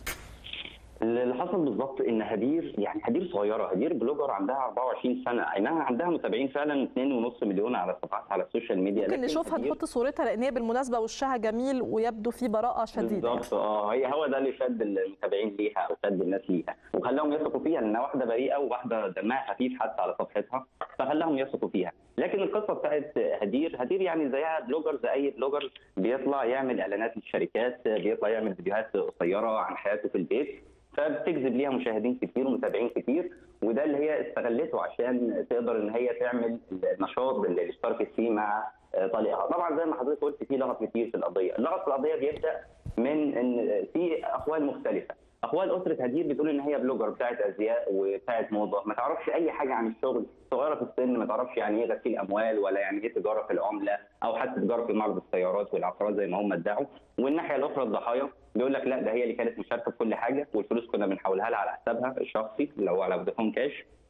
وان هي كانت بتعمل دعاية لزوجها أو اللي كان طليقها هو دلوقتي لما كان زوجها على صفحاتها على ال social media. لكن إحنا لغاية هو معلش في الحتة دي يا أستاذ مصطفى كان في ناس بعض الناس بتقول إنه آه، إن هم يعني كانوا بيدوا لهم نمر آه، على أساس إن هي شركات فهي اللي بتديهم بقى نمر دي شركات موثوق فيها وكان بقى جوزها وشقيقته وزوج شقيقته بيردوا على أساس بقى إن هم إيه ال call center بتاع الشركات دي هل طيب المعلومة دي صحيحة؟ آه خليني أوضح لك القضية آه. من بدايتها القضية من بدايتها خالص هدير blogger عندها آه عندها متابعين كتير فبدأت تعمل حاجة اسمها المسابقات تعالوا نعمل مسابقة واللي يكسب هديله مبلغ آه. ومبالغ المسابقات. دي بالمناسبة دي قصة كبيرة ما حدش فاهمها ومنتشرة على ما يبدو في عالم أو في كواليس ال bloggers اشرح لنا بالظبط بالظبط. يعني تعالوا نعمل مسابقة تعالوا نعمل تعليقات اللي هيكسب معانا في التعليق بتاعه هن- هنحط ال- ال account بتاعه. فبدأت الناس تشارك معاها. فإيه؟ قالوا طب ما نخليها بمبالغ ماديه المسابقات دي 500 اللي. هو تدعوهم مثلا تابعوا تطلب من ال followers بتوعها يتابعوا account معين أو يجاوبوا عن سؤال كده. معين وياخدوا جوائز ممكن تبقى فلوس. وممكن تبقى أجهزة. بالظبط كده. فهم بدأوا إن هم يستغلوا الحتة دي. طيب 500 جنيه حتى 50 جنيه آه، 1000 جنيه وصل بقى ل 5000 جنيه. فساعتها بقى انتشرت بقى ال- ال account بتاع هدير بقى انتشر والمسابقات دي انتشرت. فبلال بقى طلع زوجها حس إن دي ممكن نستغلها في حاجة معينة. فبدأ إن هو يدعي امتلاكه لشركات كبيرة جدا. قال لك أنا عندي ش- شركات عقارات وعندي فندق في آه، أسوان وعندي وهو طبعا ما عندوش الحاجات. دي.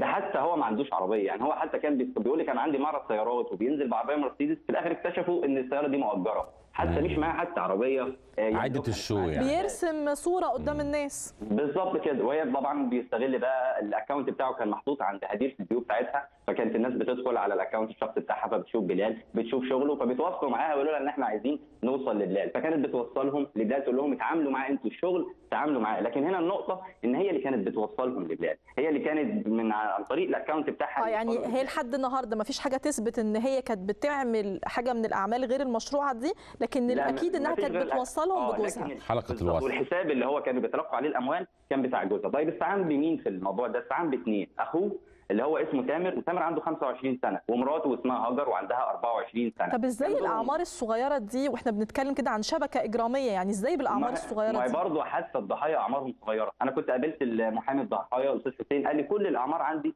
صغيرة ما حدش فيهم يتعدى ال 25 سنة إلا النادر قال وهم كام ناس ضحية أو كام واحد قدم بلاغ أكثر من 100 ضحية. أكتر من 100 ضحية؟ أكثر من 100 ضحية منهم 60 ضحية مع محامي واحد ومنهم آه، ضحايا ثاني مع محامين ومنهم ضحايا والمبالغ تقريبا. كام يا أستاذ المبالغ مصطفى 25 مليون جنيه يا خبر وده أبيض، على لسان 25 محامي. آه مليون يعني جنيه؟ مش مش مليون زي ما أشير لا لا لا لا ده 25 مليون جنيه؟ ده كلام واو المعلومة دي على لسان محمد حسين محمد الضحايا قال لي أكثر من 25 يعني مليون أنت جنيه بتتكلم وأكثر عن من 100 ضحية. مجموعة من هي طب معلش وجوزها و- 24 سنة وهي- و23 سنة آه، مع حصلوا للناس 25 طب مليون جنيه معلش الناس اللي حضرتك بتقول أكتر من 100 واحد آه. طب الناس دي ما كانتش بتاخد ورقة ما بتاخد كانوا بياخدوا. لا معاهم وصل. بتاع- مش مشكلة في الورقة انت حطيت الفلوس ومش هترجع. إيه؟ إيه؟ بالظبط. اللي تامر اللي هو شخص يعني إيه الضمانات اللي خدوها؟ أنا بس عايز أفهم كانوا الناس بيمضوا بتفكر. إزاي. كانوا بيمضوا عقود ومعاهم عقود ومعاهم برنتات حتى وصلت لينا إحنا. آه. معاهم برنتات إنك أنت أودعت المبلغ ده في الشركة بتاعتنا آه، الشركة okay. وهمية والمبالغ حاضر هنديها لك. كان تامر بقى هو المختص بالعقود وكمان كان بيعمل كان بياخد عمولة. كان عشان مقسمين بقى مقسمين الشغل. آه عشان بلال مش فاضي فأنا هحاول أخليه يفضلك ويمضي لك لحد بس اديني عمولة. كان 5000 جنيه 10000 جنيه عشان خاطر يخلي كمان بلال يتفضل. ويمضي معاهم العقود. هاجر بقى كانت كول سنتر خدمة العملاء. كتير هي اللي كانت بتتصل بالناس بتعرفهم الشركة دي إيه أهدافها إيه والأرباح كانت بتوهمهم من الأرباح 200% ده مش موجود في العالم كله. مفيش حاجة ما هو لهم إيه؟ قالت لهم 200% 200% هو ليه الناس 200%. بتصدق الكلام ده؟ ما هو بقى ال- هو أصلا جمع الأموال في يعني غير في محل القانون ده أعتقد ده حد إيه ذاته المشروع جريمه في يعني الدنيا اللي يجيب لك دي جريمة. 200% مكسب؟ إيه المشروع في الدنيا؟ ما فيش مشروع يجيب 200% ابدا بس هو اشتغل في تعدين العملات اللي هي العملات المحرمة اللي هي البيتكوين. البيتكوين العملات- والحاجات دي. آه العملات محرمة هي بتجيب فعلا بتضر مبلغ كبير لكن هي محرم التداول فيها حتى داخل مصر أو حتى في العالم العربي. آه. هو كان دايما بيتعامل فيها ودي كان بتجيب له أرباح. اللي كان بقى يخلي الناس تديله فلوس لأن تشغيل الأموال دلوقتي حتى في آه الظروف هو تلاقيه حطها في الكو- في البيتكوين والحاجات دي وخسر في الفترة. الاخرانيه أكيد، لأن هي كلها انهارت آه الناس كلها دايما بتبقى كده اللي هو بيعملوا آه. مشروع بيقولوا هندي ناس فلوس في الآخر بي... المشروع بينهاروا بيتعثروا بيبدأوا بقى ينصبوا على آه طب دلوقتي. آخر حاجة وصل لها القضية مصطفى إيه آخر حاجة وصلت لها القضية إن هو تم القبض على الثلاثة في يوم واحد اللي هم هدير وتامر وهاجر من الشيخ زايد والتجمع وتم حبسهم أربع أيام والتجديد ليهم 15 يوم. بعد آه. كده اتقبض على بلال بعديهم بيومين. وعلى فكرة بلال كان نشر الستوري وقال أشهد أن لا إله إلا الله وأشهد أن محمد رسول الله وأنا أيوه ما ده اللي أنا بستغرباه إنه ادعى انه انتحر يعني صح؟ ده انه انتحر خلاص عشان الناس بقى إن هم يبطلوا يهددوه أو آه. يبطلوا كانوا يبعتوا تهديدات لهدير آه، على صفحتها الشخصية بيقولوا هنخطفك وهنخطف بنتك. وعشان كده والدتها لما ظهرت في الفيديو بتستغيث بنتي اتخطفت ساعتها كان رجال المباحث ألقوا القبض عليها بس هي افتكرت إن هي اتخطفت هي ما. فهمتش آه آه ما فهمتش أنا التقيت معاها ووضحت لي ال- الجزئية دي لكن اتقبض على بلال واتجدد حبسه ثاني يوم على طب. أنت لمست لما قابلت والدتها أنت لمست إنها كان عندها أي فكرة عن ال... عن كل اللي بيحصل دوت ولا هي حتى مش كانت فاهمة إيه ده لا. والدتها والدتها مش أصلا فاهمة يعني. سيدة ريفية هي هم من المنوفية وكانوا عايشين في المعصرة وزي ما تقولي إيه يعني بدأت الفلوس تيجي معاهم شوية وبدأوا يعيشوا في Mountain View في ال- في الشيخ زايد أو في التجمع الخامس فبدأت ال- الأمور معاهم يعني مش مدركين حجم اللي آه. بيحصل هم مش عندهمش يعني أمها يعني أمية ما بتعرفش تقرأ أو تكتب ست بسيطة آه. خالص والدها بسيط جدا وأنا آه، حتى لما كانت اتكلمت معاها. بسيطه فبتقول لي والله ما نعرف هم بيتعاملوا في إيه. أنا. بنتي بتاعت آه، هات لي screen واحد بنتي نشرت فيه. أنا بنتي ما تعرفش حاجة عن بلال وذلك هي طلقت خسارة خسارة. أدي والدتها هي على 25 الشاشه إحنا. شايفين صورتها ست فعلا يعني زي أمهاتنا وزي أهالينا ست بسيطة. ست لا ست بسيطة جدا والدها راجل بسيط جدا. بس فهم يعني بتقول لي هي بتاعت موضة ما تعرفش أي حاجة ومفيش screen واحد يثبت إن هي كانت بتتعامل في الموضوع ده. هي كانت بتعمل بس إعلانات لشركات و make up وحاجات زي كده لكن هي ما تعرفش حاجة. دلوقتي المتهمين مجدد لهم 15 يوم على ذمه التحقيقات والقضية اتحولت من جزئية الكلية في غسيل بتهمه غسيل ال- الأموال آه. ومنتظرين بقى اللي هتسفر عنه التحقيقات بشكرك يا مصطفى طبعا وخليك متابعنا بقى لأن دي قضية أنا يعني طبعا التفاصيل مذهلة وغريبة. الفلوس ال- اللي اتخذت الأرقام 25 مليون جنيه الأعداد بتاعت الضحايا والأعداد بتاعت كمان التشكيل الصغير دوت الإجرامي والتفاصيل مذهلة وغريبة. بشكرك شكرا جزيلا. صحفي مصطفى درغام نائب رئيس قسم الحوادث بالقاهرة 24 وزي ما قلنا لحضراتكم إحنا بنفتح الباب على عالم يمكن مش كلنا فاهمين إيه اللي بيحصل فيه. في حاجات إيجابية وفي حاجات سلبية لكن في غموض وفي شيء مجهول. معانا دلوقتي ال blogger كنزي آه، مدبولي وهي برضو واحدة من مشاهير ال social media. برحب بيك يا كنزي. أهلا وسهلا. أهلا بيكي كنزي. كنزي معانا؟ ألو ألو، يا كنزي. مساء الخير انت على الهواء برنامج النور. 90 دقيقة عاملين إيه الأخبار كله تمام بيكي، تمام. الحمد لله بصي إحنا بدأنا الفقرة دي أو بدأنا الكلام إنه إحنا مش متحاملين على ال bloggers ولا إحنا آه، يعني نعمم إنه الكل عنده مشكلة لكن في شيء غير مفهوم بالنسبة للناس كلها طبيعة شغل ال blogger آه، الأعداد الكبيرة من المتابعين آه، هل الموضوع بيستخدم في ال business أو الشغل؟ أنت اشرحي لنا بقى باعتبارك برضو واحدة من هذا العالم وعندك آه، متابعين وعندك عالم آه، خاص بيكي يعني إيه blogger يا كنزي؟ آه هو اولا blogger هنا influencer. بتستخدم في مصر غلط على ناس أصلا مش المفروض يتقال عليهم bloggers. يعني مثلا أنا ككنزي أنا مش المفروض أبقى blogger يعني أنا صانعة محتوى. بس هما بقوا يقولوا أي حد مثلا مش انت المفروض تبقي إيه؟ أنا صانعة محتوى. صانعه آه. محتوى okay. بس هما بقى كل الناس بيقولوا عليا blogger يعني مش مشكلة. أو آه، influencer المفروض- يعني influencer نعم؟ influencer لو جد آه يعني هو لو شخص مثلا اتشهر يبقى influencer اللي هو بقى بيأثر في الناس. لكن فكرة blogger ممكن أي حد يبقى blogger حتى لو عنده 10 followers هو شخص بي blog. حياته بيدون حياته. بالظبط. أنا لبست ده مثلا حد يعرف بال fashion بيوريهم لبسه اليومي عشان البنات آه، get inspired بقى يعرفوا هما بيلبسوا إزاي.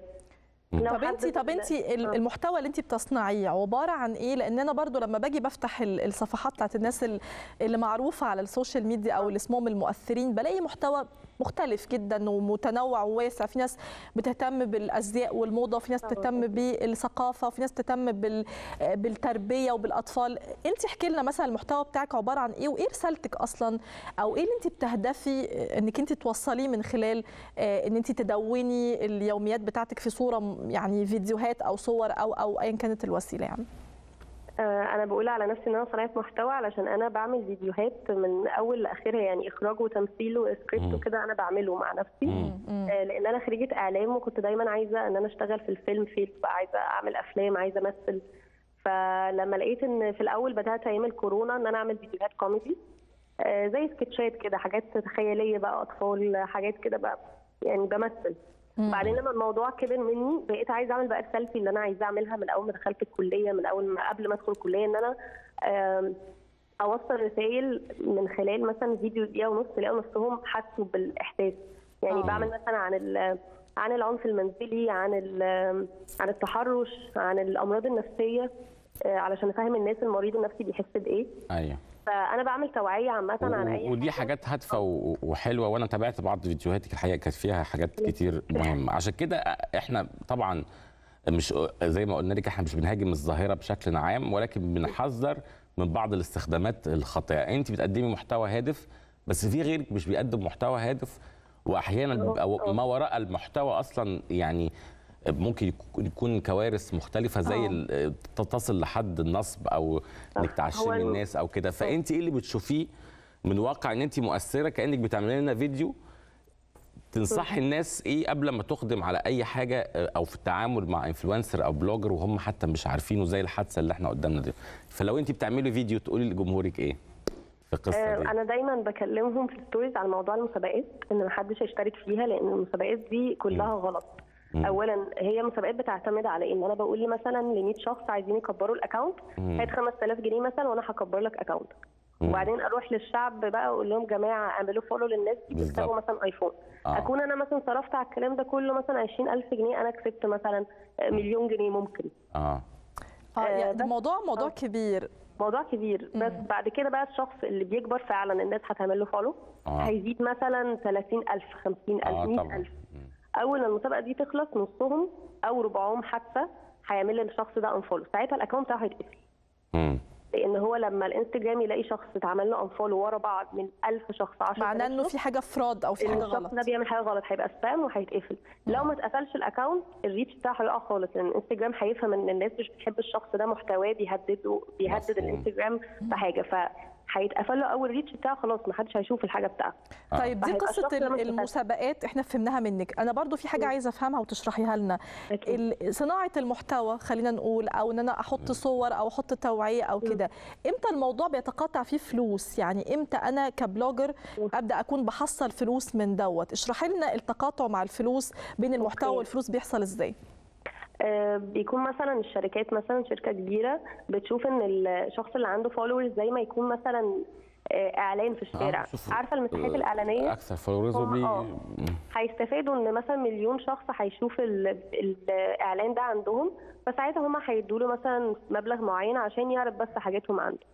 آه، مجر- مجرد عارض يعني بيعرض بس الحاجات طب معنى كده إن ممكن يبقى الشخص اللي إحنا كلنا بنتابعه ملايين البنات وآلاف البنات بتتابع بنت مثلا معينة عشان متخيلة إنها بتديها نصايح هي مدفوع ليها أو مدفوعة الأجر عشان تنصحها بالمنتج الفلاني أو تنصحها بطريقة البشرة ما أعرفش آه، ما ده إيه أكيد بيحصل طيب ده هل الناس ما هو. الناس مش فاهمة. دوت يا حسام؟ الناس بتتابع شخص آه. معين على اعتبار إن أنا ده قدوة ليا أو مثل أعلى ليا أنا عايزة أبقى شبه البنت دي.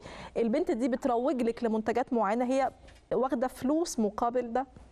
آه آه، لا أكيد طبعا في حاجات كتيرة قوي من الشخص بيعملها في البوستات أو في ال stories تبقى طبعا مقابل مادي. مم. أنا ككنزي برضو بعمل إعلانات مقابل مادي. بس أوكي. مثلا في فرق من إن أنا هعمل مثلا شركة مشهورة قوي هي بتطلع إعلاناتها في التلفزيون.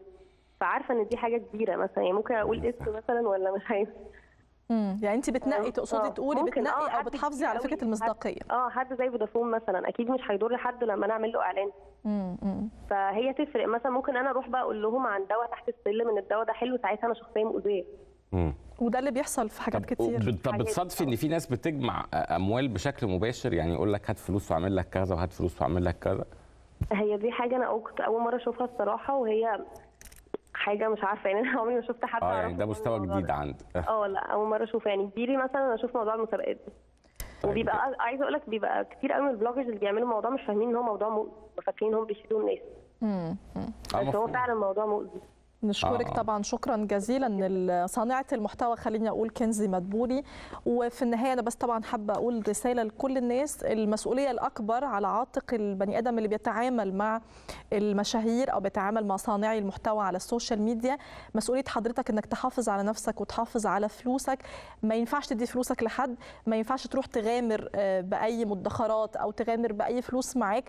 مع حد أنت ما تعرفوش خالص ولا في أي سابق معرفة. مجرد إن هو عنده ملايين المتابعين على السوشيال ميديا أو مجرد إنه شكله من بره براق أو بنت جميلة أو شاب آه، صغير في السن وشكله إن هو روش و... وعنده ناس كتير بتتابعه. شكله روش. ما هو ده اللي بيحصل دلوقتي.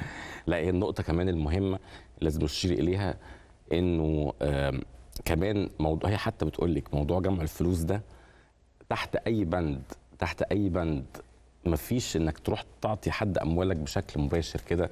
وأنت ما تعرفوش آه، أو حتى مجرد إن هو مؤثر لا يمكن يكون ده المعيار اللي حضرتك بتختار عليه انك تستثمر فلوسك في إيه. أي مكان مين البلوجر أي مكان مين المؤثر أي مكان مين الشخصية أو الفنان أو أو أي مكان حتى إيه الشخصيه المعروفه إن شاء الله يكون أشهر فنان أو أشهر مؤثر. دي قاعدة حضرتك ما تديش فلوسك لأي حد. من غير ما تكون عارف هي رايحة فين.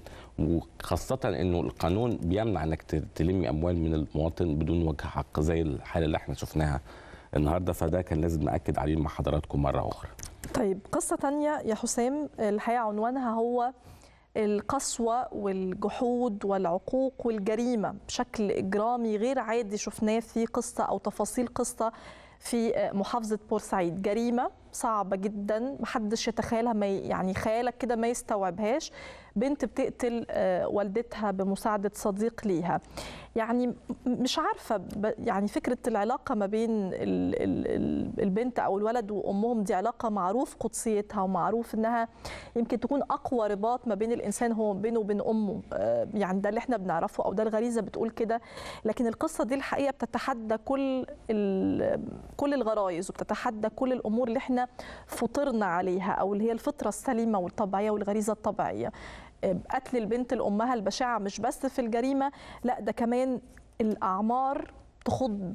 البنت عندها 20 سنة والولد صديقها ده بيقال إن هو عنده 15 سنة. شيء أنا مش قادرة أستوعبه ولا قادرة أفهم إزاي ممكن نكون وصلنا للمرحلة دي أو إزاي ممكن الجريمة دي يعني حد عقله أو مشاعره تسمح له إن هو يعمل حاجة زي دي. كمان التفاصيل كمان صعبة للغاية الحقيقة يعني. مش عايزين نذكر ادي البنت ومامتها. آه يعني لابسه طبعا أخضر هي الام في صورة هي الأم بتحتفل بعيد ميلاد بنتها من أيام بسيطة. المشكلة برضو العامل المشترك هنا لا شوف كاتبه لها إيه؟ شوف كاتبه لها إيه؟ كاتبه لها كلام صغيرين رائع. في السن. إزاي الناس وصلت إن هي في السن ده تكون قادرة على عمل ده؟ ده السؤال المهم. حتى في الواقعة اللي قبليها كلها ناس أعمارها صغيرة. للغاية يعني بنتكلم عن 20 21 23 سنة 24 سنة القابليه انه تعمل جريمة زي دي أو إنك تنصب بمبالغ ضخمة 25 يعني برضو صغر السن ده متهيألي وارتباطه بالجريمه أصبح كمان محط تساؤل في كتير من القضايا اللي شفناها مؤخرا حتى الاعتداءات اللي شفناها في القضايا المتعلقة كمان بالقضايا اللي تم قتل فيها بعض الفتيات. يعني في شيء أصبح غريب في السن الصغير ومدى قدرته على الإقبال والوصول لهذه الدرجة من الإجرامية في السن الصغير ده يعني لسه يعتبروا معظمهم مراهقين. يعني معانا الصحفي طبعا محمود عبد الراضي رئيس قسم الحوادث في اليوم السابع. برحب بيك يا أستاذ محمود. وطبعا أنت عندك يعني تاريخ طويل من متابعة الحوادث ومتابعة القضايا على اختلاف أنواعها. لكن أنا الحقيقة بسألك هل عدى عليك حادثة أو قضية بالبشاعة دي؟ يعني مش عارفة ده سؤال يجوز ولا لأ بس أنا حاسة إن القضية بشعة جدا لدرجة إنه من الصعب تكون شفت أبشع منها. أنت احكي لنا. وعلى أستاذ حسام ده سؤال مهم جدا. يعني أنا عاوز أقول لحضرتك يمكن إحنا متابعين بصفه يومية في صفحات الحوادث ما يدور يوميا. يا أستاذ محمود. معاك يا فندم سامع أيوه اتفضل. صوتك بس كان راح. اتفضل إحنا آه معاك. آه بقول بقول لحضرتك يمكن إحنا متابعين على مدار 24 ساعة الحوادث لكن يمكن لم نألف مثل هذه التفاصيل الحادثه البشعة اللي خاصة إن طرفيها يعني أم وواحدة يعني يطلق عليها فلذه كبد أمها وفقا لأقوال يعني شهود العيان والناس المحيطين بالمنطقة بيقولوا إن الأم كانت رحيمة وكانت طيبة وكانت بتعامل البنت بشكل طيب جدا. كاتبه لها بوست قبل الحادثة دي أو الجريمة دي بكام شهر بتقول لها يا نور عيني يا حبيبة قلبي وربنا يخليكي ليا. يعني كلام أصلا يهز القلب. بالظبط الأم كانت مسالمة جدا وكانت طيبة وكانت يعني بتعطي بدون حدود للبنت وكانت بتروح إحدى المستشفيات اللي بتعمل بيها بتعمر على مدار ال 24 ساعة يمكن.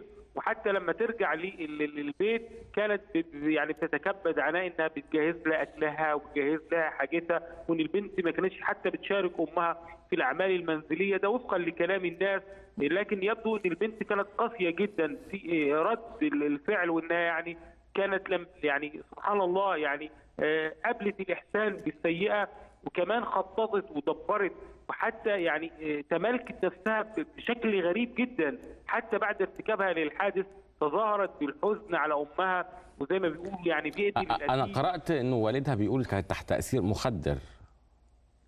يعني يمكن يمكن من بس من بعض برضه إنه حد يقبل على بشاعة الجريمة دي يعني إزاي كان في قواه العقلية دي؟ عندها 20 سنة. يعني بالطريقة البشعة. يعني أنا مستغرب الصراحة الأعمار يعني كمان صغيرة جدا على كم البشاعة دي. بالظبط يا أستاذ حسام. يعني يعني إحنا بنتكلم في واحدة عندها 20 سنة كانت مرتبطة بشاب أقل منها بحوالي خمس ست سنين. وإن حتى بعد ما أقول لحضرتك ما ارتكبت الجريمة طبعا الأهالي قالوا روايات غريبة بيقولوا يعني من ضمن الحاجات اللي, قالتها البنت والولد المتهم إن هي يعني الست توسلت إليهم إنها تنطق الشهادتين وإن هم يعني كررتها ثلاث مرات والولد قال لها يعني لفظا كده قال لها خلاص كفاية كده. حول ولا قوة إلا يضربها بعصاية لحد ما رفضت انفاسها الأخيرة. وزي ما بيقولوا يعني ما فيش جريمة كاملة. هم يعني قاعدين في, في, في, في مسرح الجريمة وقالوا إحنا نسرق بعض الحاجات من الشقة كمان عشان نوهم عشان نوهم رجال الشرطة يعني الموضوع أوه. في اتجاه السرقة إن لص دخل فسرق في حاسة دي فقتلته ولكن يعني زي ما بيقولوا مفيش جريمة كاملة. الولد المتهم كان نسي تيشيرت في مسرح الجريمة وده اللي خلى رجال المباحث بدأوا يشكوا فيه وتم القبض عليه وباستجوابه منفرد واستجواب البنت منفردة. بدأوا يحكوا تفاصيل الجريمة بهذه الكيفية وهذه الصورة وإن البنت إزاي كانت صلبة وكانت متماسكة كانت تتظاهر إنها يعني حزينة على أمها بعد ال- الوفاه وبنت بنتكلم يا أستاذ هبه يا أستاذ حسام على 20 سنة يعني 20 سنة ده لا شيء طبعا جداً. شيء بشع بكل المقاييس ويمكن التفاصيل اللي أنت ذكرتها دلوقتي بتأكد اللي أنا بدأت بيه إنه يعني قصة فريدة في البشاعة. بشكرك شكرا جزيلا الصحفي ورئيس قسم الحوادث باليوم السابع الأستاذ محمود عبد الراضي. قصة ولا أبشع من كده والحقيقة طبعا يعني مش عارف قوي آه يقول إيه الصراحة بس يعني رحم ربنا يرحمها ويحسن إليها. طبعا. ونحسبها شهيدة يعني بما تعرضت إليه من ألم وحزن الحقيقة. مش متخيل آخر لحظات أكيد يعني شيء لا يتصوره عقل يعني من بشاعة. خلينا نروح لفاصل. يا حسام ونرجع بعد الفاصل نكمل آه، قضايانا ومتابعتنا في 90 دقيقة. أهلا بحضراتكم مرة تانية. تابعنا معاكم على مدار الأيام برضو الماضية. زيارة السيد الرئيس للولايات المتحدة الأمريكية ومشاركته في القمة الأمريكية. الإفريقية واللي وصفت كمان بأنه محاولة إعادة تموضع للجانب الأمريكي في إفريقيا وكان في تعهدات بمساعدات وأيضا مشروعات اقتصادية وغيرها. وكان الأهم أيضا أنه زيارة السيد الرئيس كان فيها أكثر من محور وأكثر من ملف تم فتحه مع الجانب الأمريكي ولقائه طبعا بالرئيس بايدن وزيارته للبنتاجون وبالتالي كانت زيارة مهمة ومثمرة. يمكن هنتعرف مع حضراتكم على أهم نتائجها. من خلال أيضا آه، انضمام آه، السيد مهدي عفيفي العضو في الحزب الديمقراطي الأمريكي معانا من واشنطن طيب لغاية ما يجهز آه، معانا أنت تابعتي كمان إزاي يا هبة. فعاليات القمة الأمريكية هقول لك طبعا آه، كان في بعض الإفريقية. آه. المشاهد المهمة مم. جدا الصورة المهمة جدا اللي كانت بتجمع الرئيس الأمريكي آه، بايدن وفخامة الرئيس المصري عبد الفتاح السيسي صورة لافتة وبارزة جدا جدا فيها أجواء حميمية أجواء دافئة يمكن تخالف كل ما بدأ به الرئيس الأمريكي عهدته الحالية من آه، يعني تصورات أو بتعطي لمحة عن العلاقات المصرية الأمريكية مختلفة جدا ده كان مشهد بارز المشهد. الثاني طبعا هو استقبال الجالية. آه،. المصرية كمان للرئيس. عبد الفتاح السيسي هتافات ودعم ورسالة حب شديدة للرئيس في التقرير اللي إحنا طبعا هنشوفه مع حضراتكم دلوقتي دوت بيجمع أبرز آه، ملخص وأبرز المشاهد والتفاصيل المتعلقة بهذه الزيارة نشوفه ونرجع لحضراتكم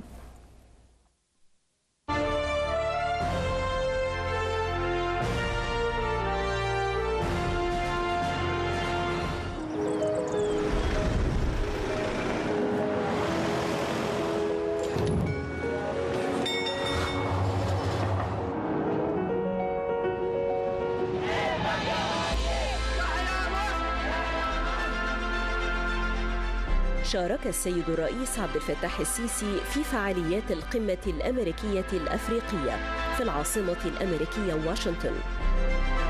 وصرح المتحدث الرسمي باسم رئاسة الجمهورية السفير بسام راضي بأن السيد الرئيس شدد خلال أعمال القمة على الموضوعات التي تهم الدول الأفريقية في ظل التحديات العالمية القائمة وتعزيز الشراكة الأفريقية الأمريكية لمواجهة أزمة الأمن الغذائي وتيسير اندماج الدول الأفريقية في الاقتصاد العالمي.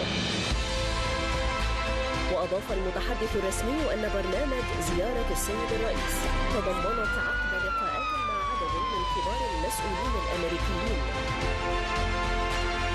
واستقبله وزير الدفاع الأمريكي السيد لويد أوستن بمقر البنتاغون في واشنطن.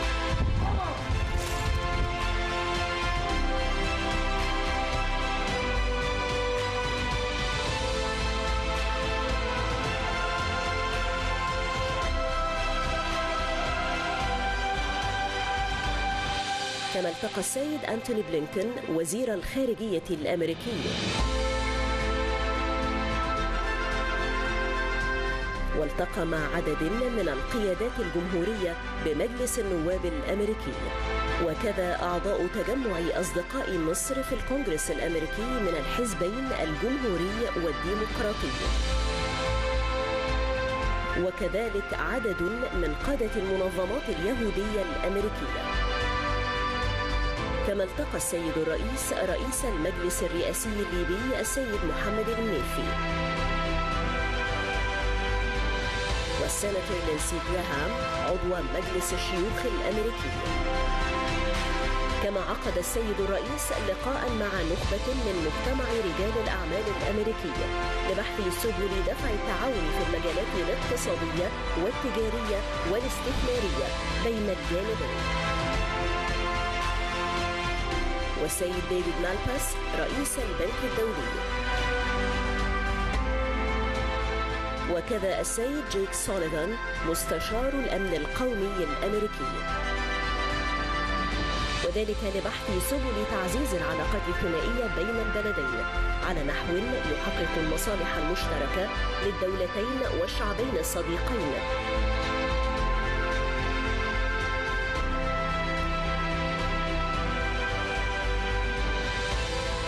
وعقب انتهاء الزيارة غادر السيد الرئيس عبد الفتاح السيسي العاصمة الأمريكية واشنطن. وكان في وداع سيادته كبار رجال الدولة الأمريكيين وأعضاء السفارة المصرية عائدا بسلامة الله إلى أرض الوطن.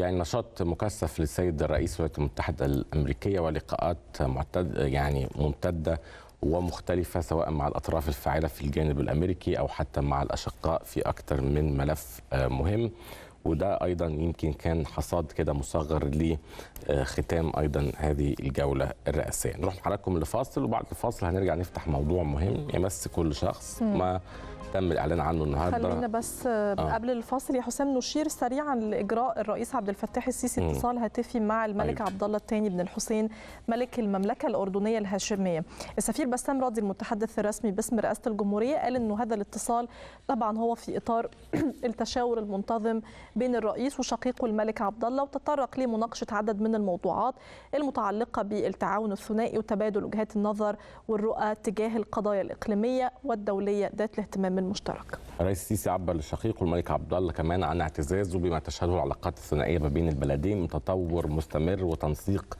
في مختلف القضايا الإقليمية والدولية وشدد كمان سيادته على أهمية استمرار تلك الجهود وتوسيع نطاق مجالات التعاون الثنائي المختلفة وتعميقها بما يعظم المصالح المشتركة للبلدين والشعبين. وكمان اشاد الملك عبد الله من جانبه بالعلاقات الثنائية الأخوية ما بين مصر والأردن وبالتنسيق الدائم مع الرئيس مؤكدا تطلعه للدفع قدما بأطر التعاون الثنائي على كل الأصعدة. وده كان خبرنا طبعا قبل ما نروح لفاصل. بعد الفاصل كنا بنقول آه. هنروح لموضوع في منتهى الأهمية. الإعلان طبعا النهارده عن صندوق النقد الدولي واتجاهه لصرف شريحة من الشرائح المتفق عليها بشكل فوري 400 ما يقرب من 400 مليون دولار وجدول زمني على مدار 46 شهر لصرف 3 مليار دولار وخطة أكبر على مدار طبعا الحصول على 14 مليار دولار سواء من الصندوق أو من الجهات الداعمة والمانحة. تأثير ده ومجريات طبعا هذا القرار على الشأن المحلي والأسواق كمان في الداخل. هنتعرف عليه بشكل أكبر بعد هذا الفاصل. برحب بحضراتكم مرة تانية في 90 دقيقة. الحقيقة أنه النهاردة خبر مهم جدا يتعلق بموافقة صندوق النقد الدولي على القرض المخصص لمصر بقيمة 3 مليار دولار. في بعض الحقائق المرتبطة بالموضوع ده قبل ما نخش في المناقشة لأنه لما بنتكلم عن هذا القرض أو يعني القيمة دي أو برنامج الإصلاح للاقتصاد المصري اللي طبعا بنشارك فيه صندوق النقد الدولي بنتكلم عن أهداف أساسية من ضمنها تخفيف أو تعزيز قدرة الاقتصاد المصري إن هو يستوعب ويمتص الصدمات. صدمات بقى يعني عانينا منها آه، طول الفترة اللي فاتت طول السنوات الماضية بدأت بفيروس كورونا اللي غير حسابات الدول غير الموازنات العامة للدول عمل مشكلة في سلاسل الإمداد وبالتالي تعطلت وارتبكت بشكل كبير جدا الخطط اللي كانت عاملاها كل دول العالم لمعدلات النمو الاقتصادي للميزانيات الخاصة بها ارتبكت أسعار النفط كل شيء الحقيقة اتغير واختلطت كل الأوراق. فوقنا من صدمة فيروس كورونا يعني اخذنا أو العالم كله اخذ القلم الثاني وهو في الحرب الروسية الأوكرانية اللي أيضا غيرت حسابات اقتصادية كثيرة جدا وخلت دول كثيرة كانت بتطمح في تحقيق معدلات نمو معينة تتراجع تماما وتحقق معدلات نمو أقل بكثير وفي اللي تاثر بالسلب وفي اللي قدر يمسك نفسه وفي اللي قدر يقف على أرض صلبة واختلفت الحقيقة الحسابات بشكل كبير. بنتكلم عن قدرة على استيعاب الصدمات وبنتكلم عن تقليل فجوة تمويلية بنحتاج ليها بشكل كبير. يمكن في تساؤلات كثيرة ترتبط ب آه، هذا البرنامج وفي إجابات مهتمين إحنا نسمعها النهارده من ضيفنا اللي مشرفنا في الاستوديو الأستاذ أحمد أبو السعد الرئيس التنفيذي لشركة ازيموت مصر. أهلا وسهلا بك أهلا وسهلا أستاذ ايوب أهلا بيك يا فندم منور. تشرفت هنبدأ مع حضرتك من الإعلان آه، النهارده وإزاي قرأت الإعلان ده؟ والحقيقة ان إحنا شايفين كنا متخيلين مثلا إنه هي- هي- هيصرف ال 3 مليار مرة واحدة لكن لقينا إنه في جدول زمني معين وكما جاء في صندوق النقد إن هو مرتبط بتجاوبنا إحنا مع الإصلاحات ال- اللي تم وضعها أو الاتفاق عليها مؤخرا مع الصندوق. شايف إزاي حضرتك هذه هذه الخطوة بشكل مبدئي على الأقل؟ طيب خلينا نتفق إن إن الإعلان اللي تم إمبارح هو ما كانش فيه يحمل أي نوع من أنواع المفاجآت. يعني إحنا من الأول عارفين إن إحنا المتقدم لمجلس إدارة صندوق النقد الدولي هو 3 مليار. عارفين إن الدفعة الأولى هتكون مبلغ بضع مئات من الدولارات وليس ال 3 مليار كلهم فليس هناك أي مفاجأة في كده. لكن خلينا نرجع شوية خطوتين. إحنا ده مش الانجيجمنت أو مش الارتباط الأولاني مع صندوق النقد الدولي. يمكن إحنا قعدنا فترة 20 سنة ما نروحش لصندوق الدولي النقد الدولي ولكن رجعنا له تاني كان في نوفمبر 2016 بأول اتفاقية بحوالي 12 مليار آه، دولار. وخدنا بعد كده آه، دفعتين زيادة في الرابid فاينانسنج اللي هو بيسموه التمويل السريع عند الكورونا وبعديها بشهر تاني اتنين تانيين 2 3 مليار تانيين ولكن يمكن زي ما الأستاذة هبة قالت إيه يعني كن كان عندنا يعني حظ سيء زي ما بنقول حظ عاثر في في تلاحق الأحداث من من كورونا وما تبعها. وبعدين الموضوع بتاع الحرب الروسية الأوكرانية. كان عندنا في النص اخطائنا بشكل كبير جدا كانت موجودة ونقدر إن إحنا نهايلايت عليها. ولكن في نفس الوقت إن التلاحق الأحداث بال- بالشكل ده عزز في إن هو أول ما يبقى فيه آه، يبقى تبان بالمنظر الكبير ده. يمكن دي بانت في حرب روسيا وأوكرانيا مع إن الازمه أزمة عندنا آه، كانت بدايتها مش الحرب الروسية الأوكرانية ولكن تعاظمت مع الحرب. هي ابتدت في شهر سبتمبر 2021 مع أول إشارة للفدرالي الأمريكي إن هو هيبتدي يرفع. أسعار الفايدة. هو مجرد أشار ما كانش لسه رفع لسه بس رافع نص من كام يوم. لا لا ما هو بير خلاص بس أنا اقصد الإشارة ال signal اللي اداها اداها في سبتمبر. أول ما يدي إشارة زي كده تبتدي البنوك المركزية كلها تتأهب لكده فتبتدي ترفع رؤوس وكله الأموال. يرفع راس الفايدة وراه إيه اللي حصل في كده؟ إن أنت بيحصل نزوح للأموال من الأسواق الناشئة إلى. الأسواق المتقدمة. ليه؟ لأن في الفترة السابقة ليها كانت معدلات الفايدة في أمريكا وفي أوروبا كانت بتقترب إلى الصفر وفي بعض الأحوال من السالب. فبالتالي في سيولة ضخمة ومع السياسات التوسعية اللي كانوا عاملينها في بيسميه سيولة رهيبة في الأسواق وبيسموها السيوله الحائرة. هي مش عارفة تروح فين. مم. عايزة تعمل عوائد ومش عارفة تروح فين. فكانت بتروح فين؟ تجري على الأسواق الناشئة. مع هي بداية دي الهوت ماني أو الأموال الساخنة ولا ده حاجة جزء مختلفة؟ كبير منها بيبقى الأموال بيبقى أموال الساخنة لأن هي هات بتتنقل من دول لدول على حسب الفرص فين. فمن شهر تسعة ابتدى يخرج من من مصر زي ما هي جزء من الأسواق الناشئة ابتدي يخرج منها جزء كبير من الفلوس. مع حدوث الحرب في الأسبوع الأخير من من فبراير عجلت بخروج الأموال دي من مصر بدل ما كانت تخرج مثلا في أربع خمس شهور خرجت في أسبوعين ثلاثة فأظهرت المشاكل الكبيرة ال- آه، في السوق ال- اللي في الاقتصاد المصري.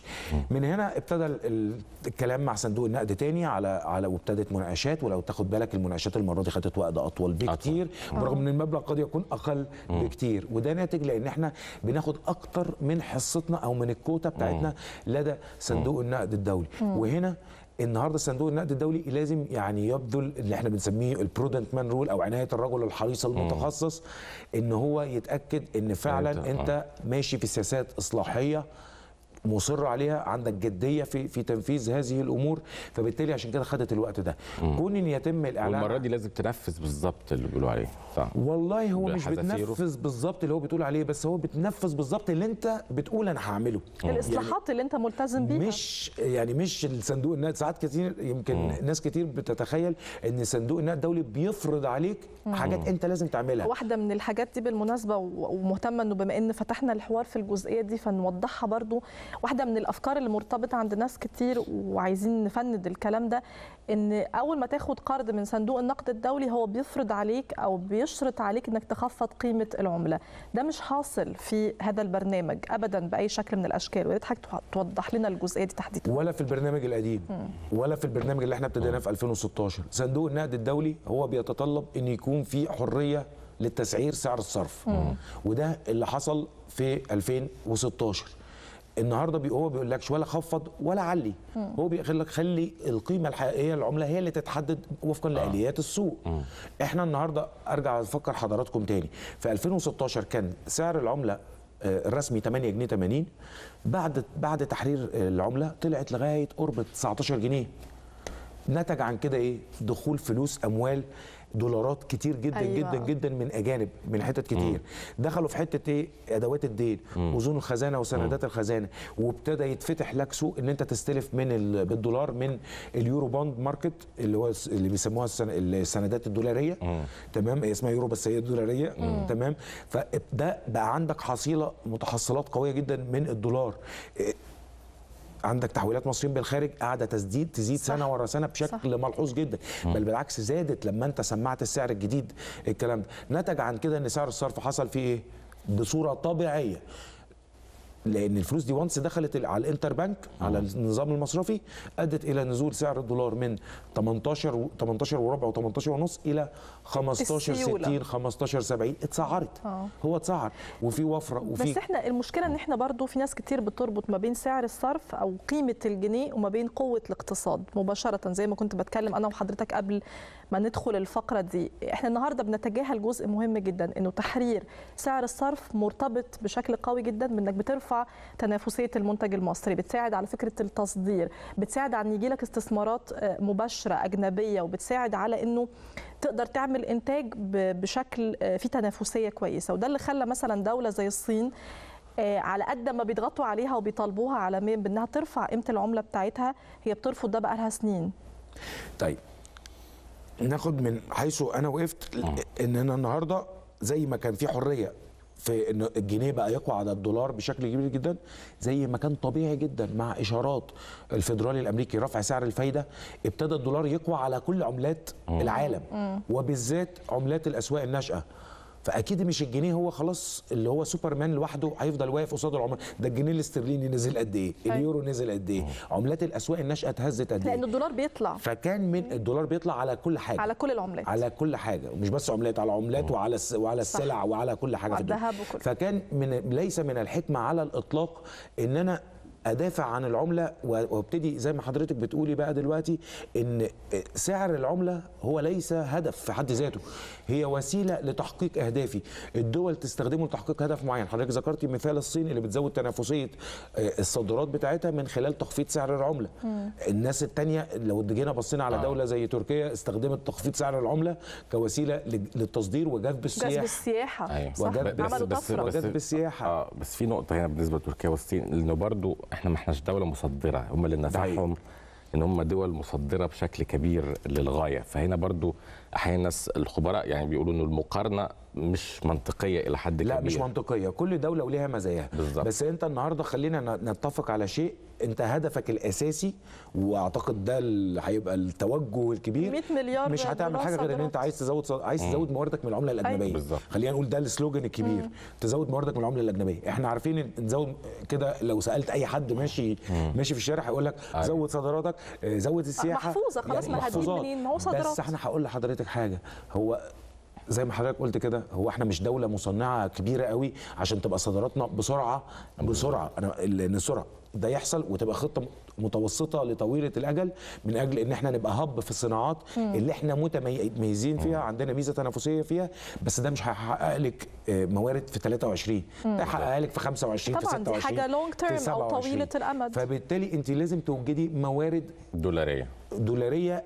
immediate يعني لحظية زي ما بتشتغلي على الميديوم واللونج تيرم بلان لأن الميديوم واللونج تيرم بلان هي اللي هتخلي عندك موارد مستقرة و sustainable تبقى قاعدة مستمرة معاكي لفترات طويلة. يعني فبالتالي أنا النهارده لازم يبقى عندي حلول عندي عندي حل. النهارده هعمل إيه؟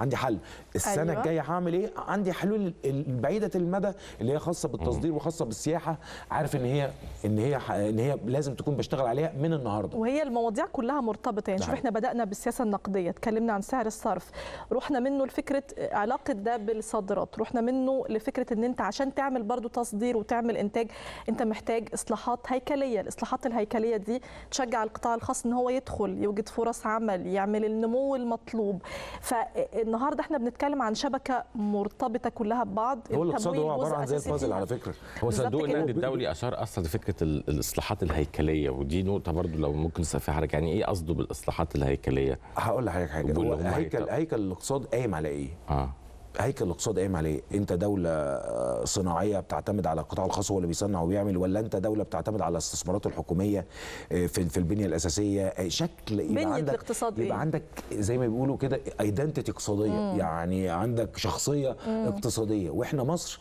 المفروض عندها identity كانت بتحاول توصل لها بشكل معين إنما بمنتهى الصراحة كنت تلاقي إيه بناخد خطوات في اتجاه ونلاقي خطوات بتتاخد في آه. الاتجاه العكسي يعني من ناحية بنقول إن إحنا آه، إن إحنا عايزين نشجع القطاع الخاص ومن الناحيه الثانية بتلاقي إن الدولة بتخش تنافس في بعض القطاعات فيبقى إحنا كده فبتدي رسائل mixed يعني رسائل مختلطة زي ما إحنا بنقول فبالتالي أنا لأ لازم أحدد الهوية الاقتصادية وأشتغل عليها.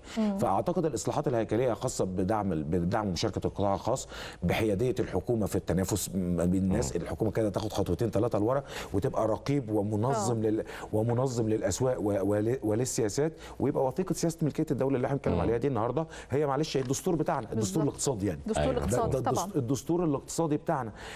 فبمنتهى الامانه كمان إحنا كمان عندنا آه، يعني إحنا محتاجين أفكار شوية آه، مبتكرة. مم. يعني يعني على فكرة في شوية أفكار عندنا مبتكرة زي آه، في خلال الفترة اللي فاتت يعني عجبتني إن في محاولات. بس كالعادة بنحط تاتش كده. زي فكرة الاستثمار في أدوات الدين بتوسعها بأشكالها الجديدة والمختلفة. لا دي مش دي مش جديدة دي دي, آه دي, دي آه، بس القديمه الأشكال والصور كمان دي القديمة. م- مختلفة لأنه ده برضو من الحاجات إحنا اللي النهارده اشار رايحين لل- للاقتصاد صندوق النقد. الأخضر. تهيألي والهيدروجين ماشي والمشاريع دي. الاقتصاد الاخضر ده ده ده توجه كده كده العالم كله متوجه له مش مش بمزاجنا وإحنا وإحنا م- يعني فرصة وإحنا النهارده هنبتدي نبني يبقى إحنا توجهنا من حيث انتهى الآخرون آه، مش نبتدي مش متأخرين مش نبتدي, قوي. مش نبتدي من الأول. إنما أنا بقول لحضرتك بتقول لي أدوات الدين هو كان طبيعي لأنه جداً. الصندوق قال إنه خطوة زي دي هت- هتدي تاني آه، ثقة للاستثمار في أدوات الدين المصرية. فده آه.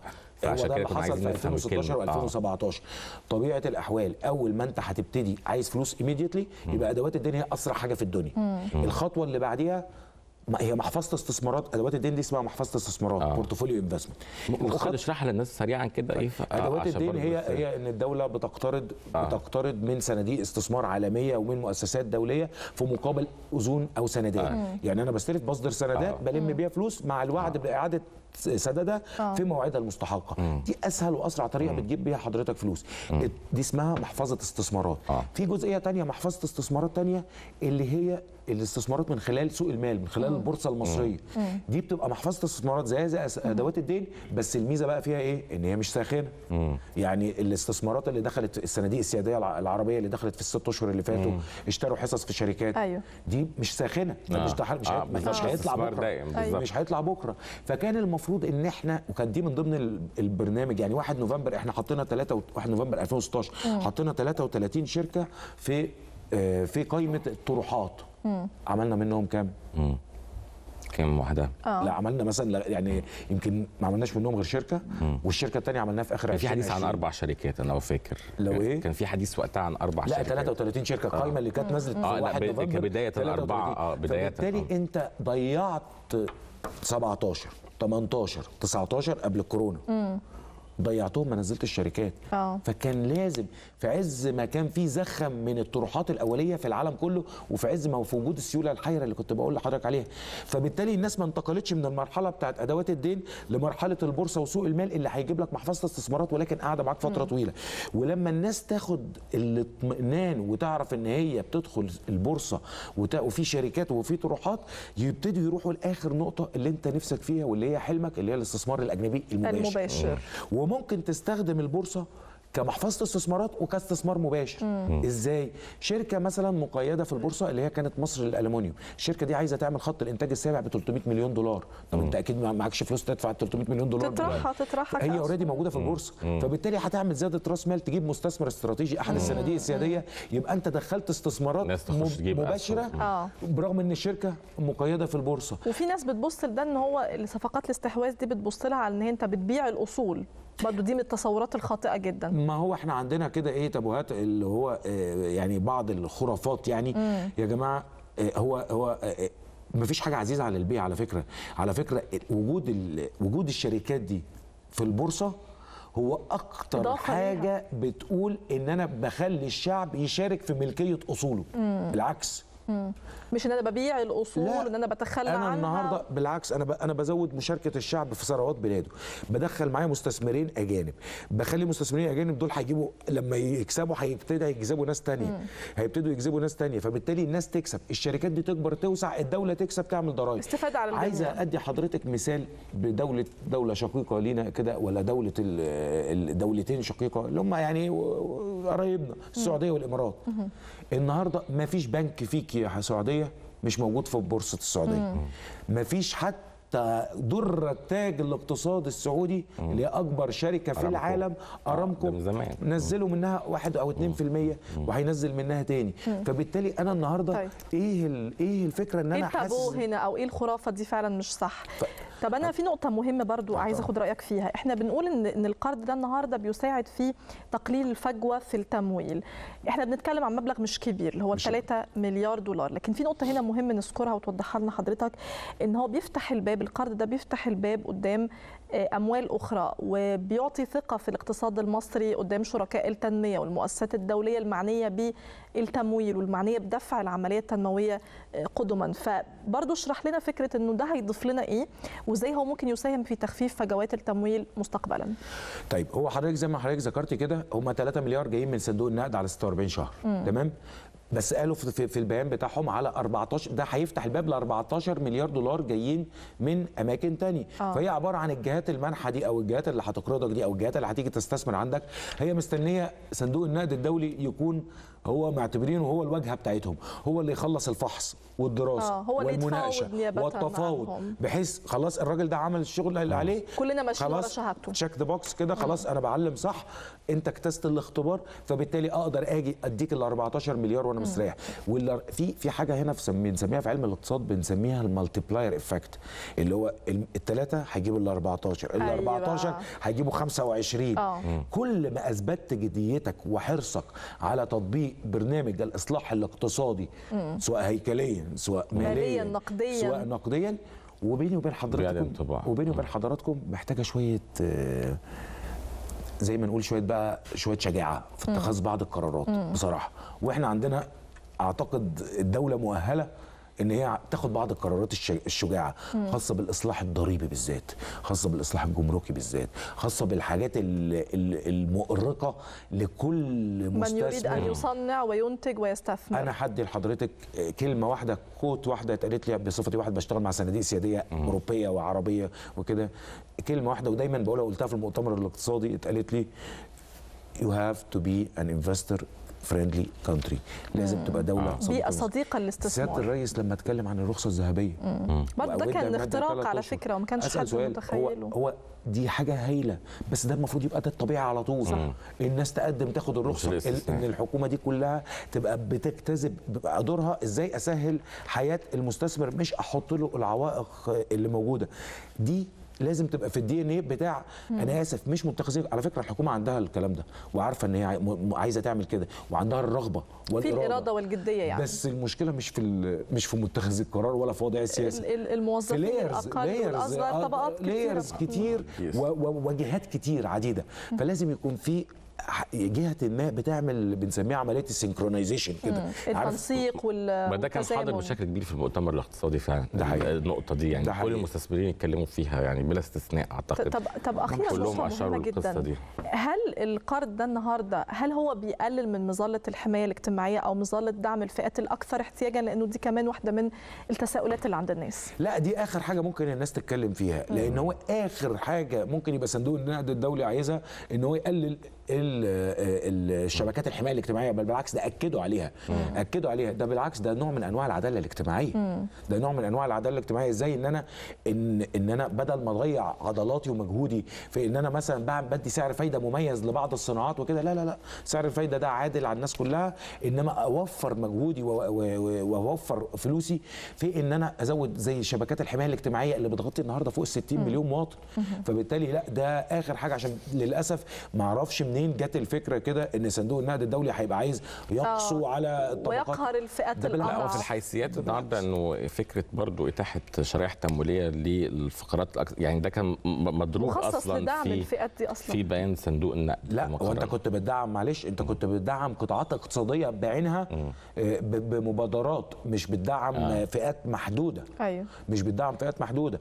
بس تاني- المبادرات دي نقلها وزارة المالية خلاص. في حاجات بقى اللي اتنقلت. آه اللي- اللي هي اتلغت؟ ده نوع من أنواع التشوهات أنت تخيل أنت كنت إن أنت كنت بتسلف الشركات أقل ما آه. بتسلف الحكومة المصرية اختلالات أو اوضاع أيوة. خاطئة أصلا من. البداية. صحيح بشكر ده حضرتك. شكرا. جزيلا نورتنا. أستاذ أحمد أبو سعد الرئيس التنفيذي لشركة ازيموت مصر نورتنا وشرفتنا نورك فندم نورتنا يا فندم نروح حضراتكم لفاصل وبعد الفاصل هنروح للتموين وتوفر السلع و ده كمان واحد من الحاجات بقى اللي متزامنة مع إحنا بنقول النهارده القرض أو البرنامج الإصلاحي دوت بيساعد على الإصلاح الهيكلي آه، للاقتصاد المصري وبيساعد على تحقيق الاستقرار ويعني ضبط الاقتصاد بشكل أو بآخر. واحد بقى حسام من الأدوات الأخرى هو ضبط السوق. بالتأكيد. هنشوف مع حضراتكم هذه الجزئية ونسمع برضو شكاوى حضراتكم بعد الفاصل. الحقيقة حديث لن نمل من تكراره هذه الأيام. وإحنا بنتكلم على الأسواق وضرورة الحقيقة ضبط الأسواق. إحنا عارفين إن إحنا في متغيرات دولية وليها تأثيرات كبيرة وطبعا الحصيلة الدولارية وحضراتكم متابعين كل هذه الأزمات وبالتأكيد بتؤثر على السلع بشكل أو بالآخر وتأثير كبير ومحدش يقدر يهون منه بأي شكل من الأشكال. لكن المهم إنه إحنا كمسار بديل أو كمسار موازي إن إحنا نعمل قدر الإمكان على ضبط الأسواق وإنه ما يكونش في استغلال لهذه الأزمات بشكل أو بآخر. وإنه كمان نكون حريصين إنه السلع تكون متوفرة. عشان كده إحنا النهارده معانا المهندس عبد المنعم خليل آه، رئيس قطاع التجارة الداخلية بوزارة التموين. نطمئن من حضرتك على أوضاع الأسواق. أهلا بحضرتك منور أهلا حضرتك. على وسهلاً. حضراتكم وعلى مشاهدينكم. وطبعا دايما ندعو مصر بالامن والاستقرار يا رب. إن شاء اللهم الله. آمين. اخذتوا قرارات آه، الأسبوع اللي فات كلها كانت قوية. اجتماعات مستمرة لرئيس الحكومة مع وزير التموين وزراء معنيين بال- بكل السلع يعني المختلفة. وقلتوا هندي مهلة للتجار ينزلوا الأسعار أو ينزلوا السلع بالأسعار المظبوطة وينزلوا السعر على كل سلعة وإلا هيكون في قرارات حاسمة. اشرح لنا الآليات. وهل إحنا عندنا القدرة على الرقابة المحكمة على السوق المصري بكل آه، يعني التنوع بقى الجغرافي اللي فيه وكل الاختلافات اللي فيه؟ تمام نبدأ بالاول بالأسعار وإمكانية وضع الأسعار. هو اجتمع دولة رئيس مجلس الوزراء مع مع وزير التموين وكان مع وزير التنمية والمحلية لضبط الأسعار ووضع الأسعار في الفترة الراهنه لأن كان أثناء عملية زي ما في يعني كنتوا بتتكلموا في الموضوع ده قبل مني على طول. عملية طبعا الظروف والتعويم مش تعويم كان بدأ اشاعات فكل واحد حط سعر اليومين اللي فاتوا من كل واحد قدر السعر كان كده آه. على مزاجه شوية فطبعا كان في شكاوى كتيرة ادى دولة رئيس مجلس الوزراء أصدر توجيهات بإعطاء مهلة 15 يوم مم. إيه المهلة دي عشان بس ما هناخدش بذنب حد زي ما بقول نتكلم باللغة البسيطة كده لأي تاجر أو أي صاحب منشأة مهما كان حجمها كبير أو صغير كبير أو, أو صغير, صغير أي لو بائع متجول في الشارع. ولو أنا كبير برضو أهم أقول حاجة. لك الملحوظة كمان اللي حضرتك يعني ده جديد محمد شاك كان معاه وزير التموين النهارده مجتمع مع جميع وكلاء الوزراء في المديريات في الوزارة النهارده. مهما يكن المحل والنهارده شدد على الاماكن اللي هي في القرى كمان اللي هو المحل الصغير الأماكن اللي محدش في بي- البيت، الصغيرة اللي دي. محدش بيروح لها اللي في الشارع اللي في الجنب اللي في القرية أيوة. اللي في النجع فلا بد من وضع النهارده فالنهارده ادينا 15 يوم بدأت من يوم الأربعاء اللي فات. هيتم توجيه بحملات والنهاردة برضه وجه مع وزير التموين والتجارة الداخلية حملات مشتركة ما بين الجهات الرقابية مش عاوز أقول لك حماية المستهلك وهيئه سلامه الغذاء آه. وزاره التموين مباحث التموين. كل دي هتبقى في إطار وتنسيق واحد بحملات توعية. هتنزل على المحلات. اللي مش حاطط إعلان أو مش حاطط وضع الإعلان هيقول له اتفضل إنذار إمضي. المرة الجاية يبقى في إجراء حاسم وقانون ووقتي طب هو وضع السعر يعني إن أنا أحط السعر على على المنتج ده هل ده ينزل السعر؟ ما هو برضه ممكن يفضل السعر ما أقول عالي لسيادتك أهو جاي لك في التفاصيل برضه مم. فعندنا شقين في السلع يمكن وضع السلع السعر على السلعة ودي بتطلع من المصانع والمنتجين وفي قرار ملزم كان في قرار بهذا الموضوع قرار 330 لسنة 2017 ألزم بوضع السعر على المنتج يبقى المصنع يهمه إن السلعه ما توصلش بسعر أعلى عشان يبقى عنده تداول. فحطينا السعر على المنتج في المعلبات أو معظم السلع الغذائيه المعلبة.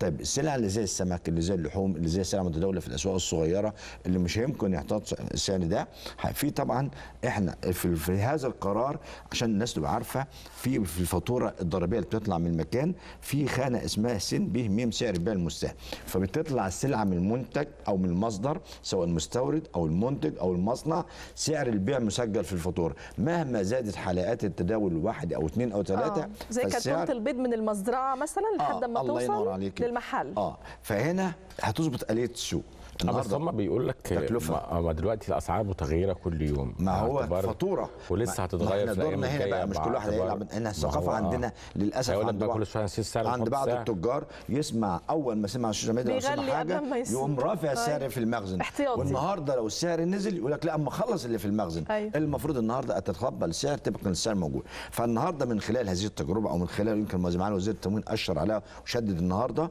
أنا هبص لو مش معلن على السعر لو مش معلن على السعر هروح أجيب الفاتورة بتاعتك فين؟ طيب فاتورة بخمسة قروش. أشوف على الرف هو كاتب عليها خمسة قروش ولا لأ.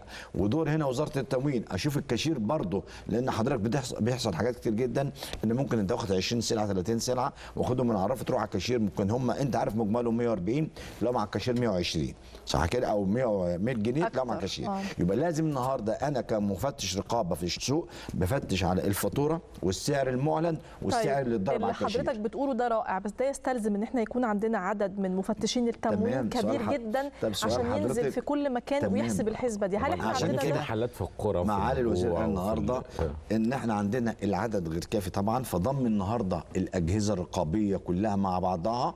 في تنسيق حملات مشتركة مفيش حد يشتغل لوحده بي- عشان يبقى في قوة وعشان نقدر 15 يوم هنمر طبعا من المحلات شغالة محليات معانا. 15 يوم ده المفروض يبدأوا من من إمتى؟ من يوم الأربعاء اللي من فات. الأربعاء. بس هيخلصوا. ما حدش عمل حاجة لسه. لا بدأت النهارده التعوية النهارده قنوات شغالة وإحنا شغالين الس- القنوات المرئية آه. والمسموعة. يعني ما شاء الله بقالنا كام يوم شغالين يعني. أيوة. إحنا مش عايزين نشتغل على التوعية قد ما نشتغل على الرقابة. آه، آه، على على الأرض يعني لسه تمام. لا خلينا على أرض. الواقع. أنا بحب أرض الواقع. إيه ده؟ عادي داخل السوبر تمام. ماركت لحد معلق حاجة ولا حد لا معلق السوبر ماركت ولا- الكبير عنده أجهزة بتديك سعر السلعة ومعظم. عند إحنا النهارده يهمنا برضو. برضو صغيرين يهمنا فان هيحط قائمه أسعار طيب، اللي آه. مش هيحط قائمه أسعار بقى إحنا نبهنا عليه أهو 15 يوم الإنز- مع الوزير مش عايز أقول لك يعني قال لك بكل الاحترام لأي واحد إحنا لازم الغرامات هتوصل قد أو- الغرامه النهارده هتوصل من 200 ألف تصل لمليون في القانون الجديد في النهارده. النهارده في حاجة تانية برضو كان الأول بيسد بيتم الإعلان ونمشي لا مصادره البضاعة دي فوريا وفي الوقت. يعني مش هصادر بضاعه خدها واطلع. لا ده هتتباع قدامه في نفس المكان في بنفس السعر العادل. آه. دي نمرة حاجة. وبعدين الغلق. غلق المنشأ تقفل له المكان، ده النهارده. إحنا إحنا في ظروف استثنائيه وإحنا في ظروف خاصة فالكل الناس لازم يكون متعاون النهارده. حاجة تانية بقى السلع اللي ما ينفعش فيها فاتورة زي الخضار والفاكهة وجاية من سوق العبور وجاية كده. فقال النهارده إحنا كوزارة التموين وجهاز حماية المستهلك لجنة عليا هتبقى مع اتحاد الغرف التجارية أو الغرف التجارية هيحددوا السعر يمكن يكون اسبوعيا يمكن يكون شهريا إيه إزاي السعر لا يزيد عن كذا أي السلعة دي. السعر الثاني من كذا إلى كذا. برضه في جودة وفي رتب وفي الكلام ده كله فهيحط السعر هيبقى ده سعر العادل اللي عليه هنشتغل عليه الجهات الرقابية. الحاجة التانية برضو هتقولي العدد مش كافي إحنا راينا في دي. طب ليه إحنا عندنا 6 مليون منشأة؟ وعندنا كم مليون كل بقى عاوزين بقى يعني 6 مليون واحد على كل منشأة مم. فالنهاردة ليه المواطن ما يكونش شريك معانا في الرقابة ويكون إيجابي والمواطن النهارده لما بيتصل بوزارة التموين على التواصل إيه؟ الاجتماعي أو من خلال خط ساخن 19 5 88 19 5 أو التواصل 88. كمان أو المرصد الإعلامي أو السوشيال ميديا النهارده إحنا شغالين على في مرصد إعلامي وفي مم. أجهزة شغالة أي واحد بيتصل بيتم طيب. الرد على الشكوى بس أقول حاجة من خلال حضرتك بيتم الرد على الشكوى بيكون الرد عليه تليفونيا وعاوز أوجه رسالة برضه بوجهها في كل برنامج إن لو أخوك لو جارك ابعت الشكوى وما تقلقش. بياناتك سرية, سرية. للغاية. ما حدش هيقدر يطلع على دي بياناتك. نقطة مهمة. الرز بقى قبل ما نختم مع حضرتك الرز وضعه إيه دلوقتي؟ الرز بدأ يتوفر النهارده ويمكن معالي الوزير خد إجراءات قوية النهارده كان في اجتماع المديريات في إجراءات قوية جدا. الرز بدأ النهارده متوفر في الأسواق. بدأنا نطرح وقال النهارده بنطرح في المجمعات الاستهلاكيه تبع لوزاره التموين ب 14 جنيه ونص الحر. ما زال الرز التمويني ب 10 جنيه ونص. ويمكن إحنا كل الفترة اللي فاتت دي كان تأمين المخزون الاستراتيجي على السنة الجاية السنة الجاية عشان ما يحصلش معانا زي السنة اللي فاتت لما استوردنا في آخر ثلاث شهور ما يبقاش أنا عندي دولة منتجة للرز وعندي فائض عن الاستهلاك 400 ألف طن وأروح أستورد من بره نتيجة التخزين أو نتيجة الممارسات الخاطئة وإحنا فكنا عندنا خدنا و- إجراءات أو الوزارة عملت إجراءات حاسمة لتأمين المخزون الاستراتيجي من الرز التمويني خلال العام القادم ويمكن النهارده أهم الحاجة اللي نجحت فيها الدولة والقيادة السياسية والاعتمادات المالية للمخزون الاستراتيجي إن أدى النهارده لتوفر السلع وما عندناش أزمة في سلعة معينة. كل السلع الحمد لله رغم الظروف العالمية اللي حضرتك أشرت عليها 80% ظروف خارجية عن إرادة الدولة وما زالت السلع عندنا آه في تحريك في الأسعار مش هنكذب في زيادة في الأسعار مش هنكذب بس السلع متوفرة وموجودة بس عايزين- وبرضه بنناشد ضبط المواطنين. إحنا مشكلة إيه، هقول لك على مثال بسيط حضرتك النهارده الناس كانت طلعت على الشاي وزيادات الشاي عشان واحد طلع قال الشاي عندنا شهر لا إحنا عندنا مخزون استراتيجي من الشاي 13 شهر و6 من 10 فالناس ما تخافش حدش يخزن طيب. حدش يشتري. أهم حاجة الرسالة عندنا اللي حضرتك مخزون قلتها. استراتيجي ما حدش آمن. الخط الساخن. بدليل برضو آه، القمح مهم محدش يشتري القمح. النهارده إحنا بدأنا كوزارة بدأنا نطرحه في البورصة السلعية للقطاع الخاص بدليل عندنا مخزون استراتيجي من القمح خمس شهور يكفينا إلى إبريل الموسم الج- القادم إن شاء الله طيب إن شاء الله خير ومتفائلين بال- شاء بالضغط الله. الشديد اللي هنشوفه ده إن إن شاء شاء الله, الله. ونتابع مع حضرتك شكرا جزيلا مهندس عبد المنعم خليل رئيس قطاع التجارة الداخلية بوزارة التموين نورتنا وشرفتنا. ونقابلك كمان يومين كده تقول لنا الرز شاء والبيض. وكل السلع طبعاً. إن شاء الله. تبشرنا بقى شاء شكرا لك يا فندم وصلنا لختام حلقتنا. النهارده إن شاء الله بكرة بقى نشوفكم على ألف خير وصحة وسعادة وحلقة جديدة من 90 دقيقة. إلى اللقاء.